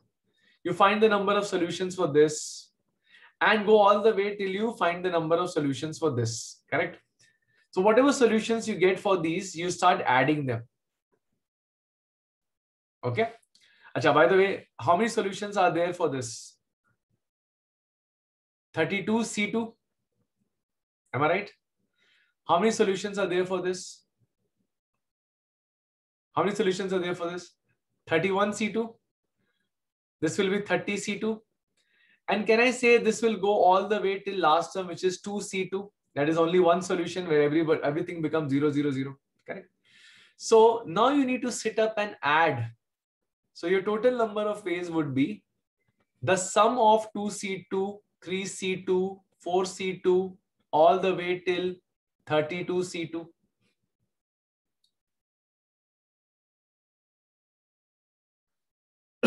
Correct? How do you add them? Anybody knows the way to add them?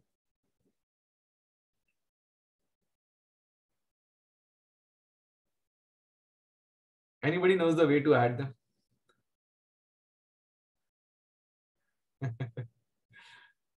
okay, so here is a you know, method to add them.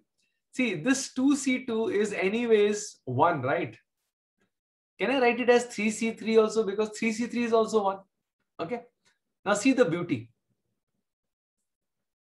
A very interesting thing you will see here. If you recall, there was something called the Pascal's identity. What was Pascal's identity? NCR, NCR minus 1 is equal to N plus 1 CR. Correct? If you recall, we had done this. This is called the Pascal's identity. Correct? So what is 3C3 plus 3C2 as per Pascal's identity? Tell me, tell me, tell me. Write it down on the chat box. 4C3, very good.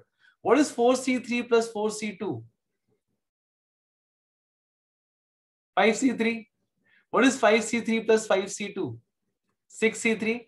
Can I say continuing so on, you will be finally left with 32C3 plus 32C2 and that will finally give you 33C3. Okay. But this approach is not a smart way to solve the problem. But even if you want to take this approach, I mean, you should be aware of this. By the way, this this is something which you know many people are not aware of. Uh, RCR, R plus 1 CR, R plus 2 CR, all the way till, let's say NCR. This is N plus 1 CR plus 1. Okay. This is an identity which we normally call it as hockey stick identity. Hockey stick identity.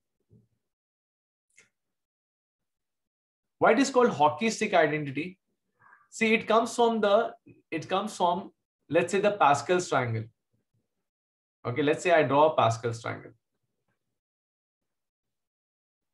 Okay. Oh, sorry, six. Okay. So here, if you see R, C, R, R plus 1 CR, etc. So let's say I, I choose some value. Let me take these values uh, themselves. Uh, let me take um, R as uh, 2. Okay. And let's say I start from 2C2, 3C2, 4C2. That's it. I end up here. Now see what is going to happen.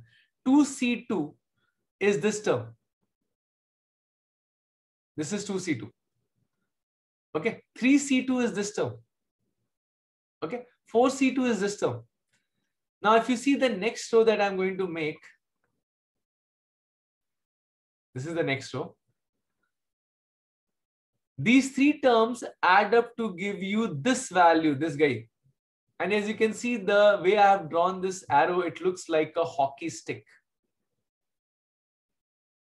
Okay, that's why this term is actually 5C3. Okay, so 2C2, 3C2, 4C2 is 5C3. Okay, so this is called the hockey stick identity. You can apply it to any, any file. Let's say you want to do these number, then this will add up to give you this 10. You can check it out. Okay. You can take a smaller one also. Let's say these two will add up to give you a 2. Okay. These two will add up to give you a 5. So as you can see, it's like a hawk, bent like a hockey stick. I hope you have all seen a hockey stick. Okay. Anyways, so this is a identity which you can note down. This is called the hockey stick identity. Please note it. Now, this is again, as I told you, not a smart way to solve the problem. So I'll show you a smarter way to solve the question. The smarter way to solve this question is by the use of something which we call as a dummy variable. So using a dummy variable. Use a dummy variable. What is a dummy variable? As you know, dummy, dummy is that doesn't exist. It's, it has been made up. So what do you do? You take a dummy variable W or D, let's say, such that the dummy variable makes this inequality as a equality, right? So for that, this dummy variable should be greater than equal to zero. Am I right? Isn't it? So if this guy is less than 30 and you want to make it 30, you have to add some quantity which is greater than equal to zero, isn't it? Correct?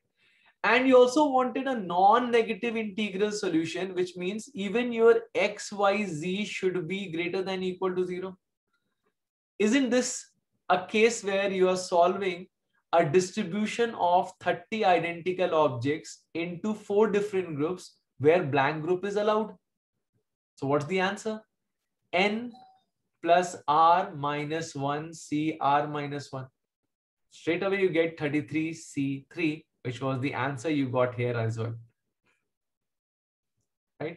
So see how fast is the use of this dummy variable logic or concept to solve this question. Is it fine? Any question in either of the two ways? Let me know.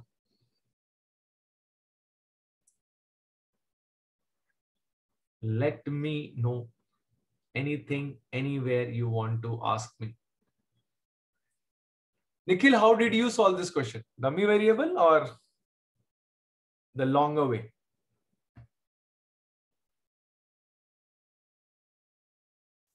The longer way. Okay. Is it fine? Any question, any concerns? Okay. So we'll take one more question then.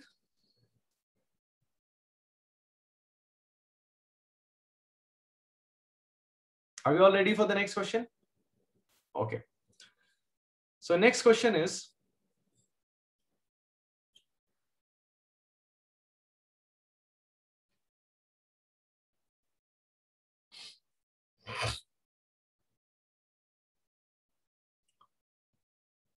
uh,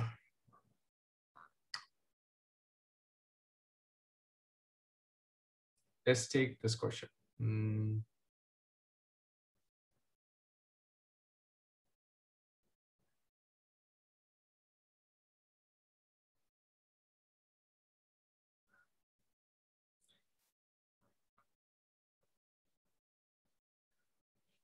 Question is,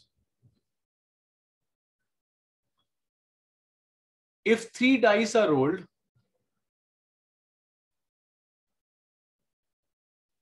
are rolled, in how many ways can the sum of the number of the numbers appearing on the top face of the die.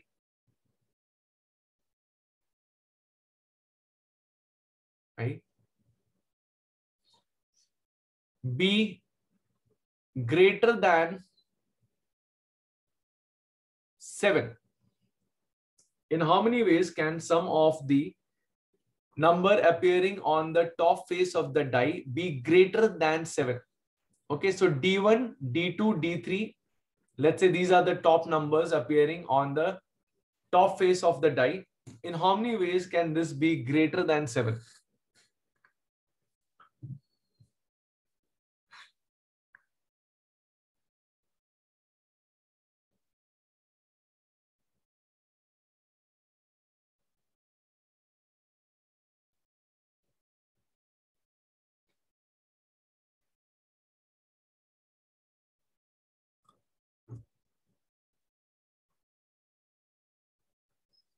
Okay let me let me just uh,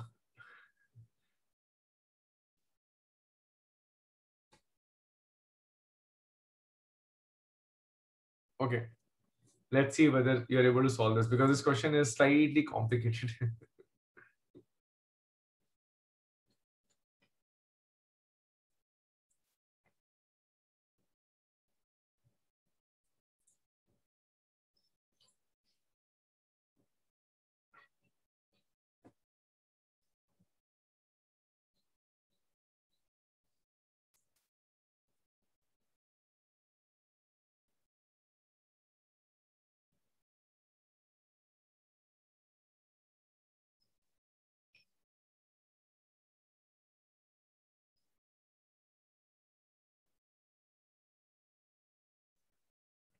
Uh, keep it six. Uh, sorry, if I'm changing the question in the mid of your solution, I'm so sorry about it. Keep it six to be on the safer side.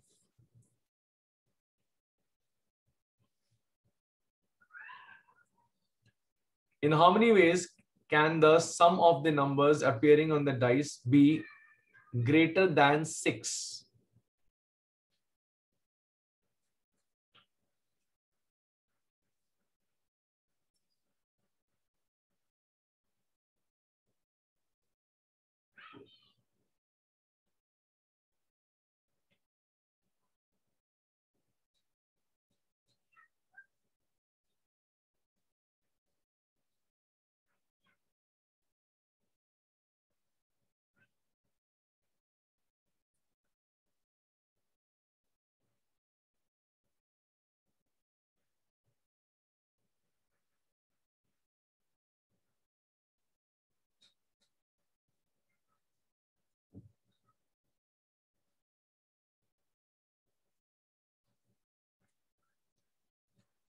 So last question of the day, I'm expecting people to answer this.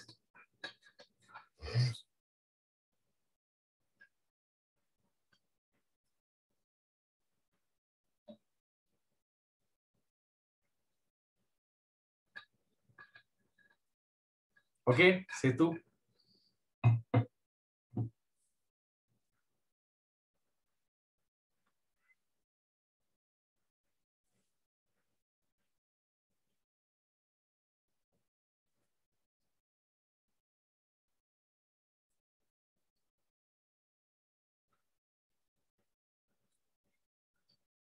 Dice, distinct dice, three distinct dice. Three different dice, D1, D2, D3. The sum of the numbers adding, uh, the sum of the numbers coming on the dice should be greater than six.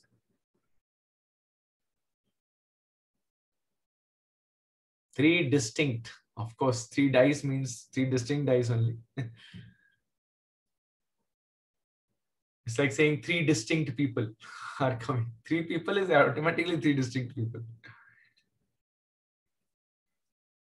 Ah, Sharduli finally woke up after her sleep. Okay, Sharduli.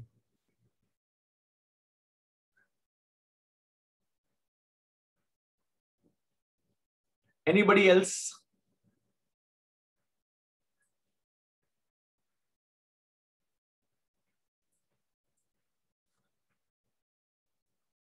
Okay, so this question is a simple thing. I mean, here, first of all, can I say the number of ways to do it is total possibilities minus total possibilities minus those cases where D1 plus D2 plus D3 is less than equal to 5. Correct? Now, many times we can add, you know, find this also manually, right? But let's do it by using our dummy variable concept. So let's say D1 plus D2 plus D3. Let's introduce a dummy variable W equal to 5. So in how many ways can you distribute these five distinct objects into this? Now W should be greater than equal to 0. Okay. And here, please note, one very important restriction that many people would forget in this question is that D1, D2, D3 should be greater than equal to 1. In the dice, there is no 0. Minimum is 1. Okay. Right? So think as if you have to give 1, 1, 1 to each one of these guys. So let's say D1 dash, D2 dash, D3 dash plus W will become 2. Right? So what you have done, you have given 1, 1, 2, D1, D2, D3, and you're left with only D dash. Another way to look at it is, let me write it in another way, which is more easy to understand. Let's write D1 as D1 dash plus 1. Let's write D2 as D2 dash plus 1. And let's write D3 as D3 dash plus 1. Okay. Now here, please understand that as D1 is greater than equal to 1, your D1 dash will be greater than equal to 0. As your D2 is greater than equal to 1, your D2 dash will be greater than equal to 0. And as your D3 is greater than 1, D3 dash will be greater than equal to 0. So substitute these in place of D1, D2, D3 over here. Okay. So when I do that, I'll end up getting D1 dash plus 1, D2 dash plus 1, D3 dash plus 1 plus W is equal to 5.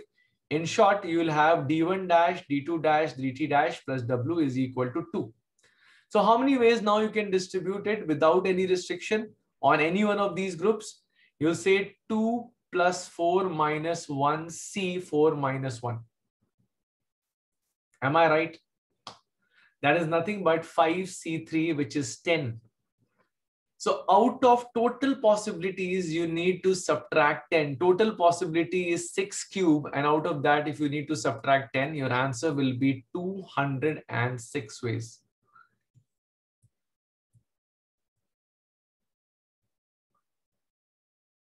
Is it fine? Any questions, any concerns?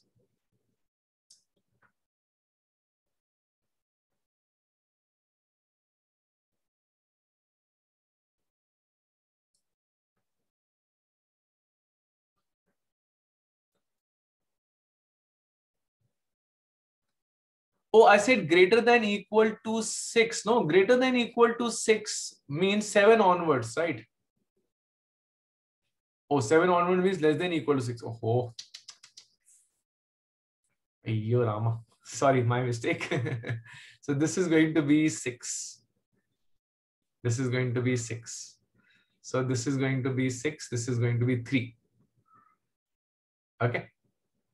So this is going to be 3 plus 4 minus 1, C4 minus 1, which is going to be 6C3. 6C3 is 20. So subtract 20 from 200 and, oh, I'm so sorry. Subtract 20 from 216. That's going to be 196. 196. From where did I get 216? Setu, you tell me if you roll three die, how many possible combinations of XYZ you will get, or D1, D2, D3 you will get? 6 into 6 into 6, 216.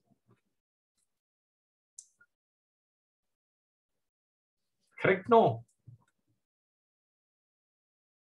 Yes or no?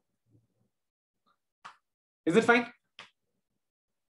Now, there is some problem uh, you know there is there are some issues which this approach will not be able to address okay and those issues are when there is an upper cap on the values of the variables so that is something which we are going to deal in our next class but our next class will be a shorter one on pnc we'll be able to cover it in i think uh, the first one and a half hours.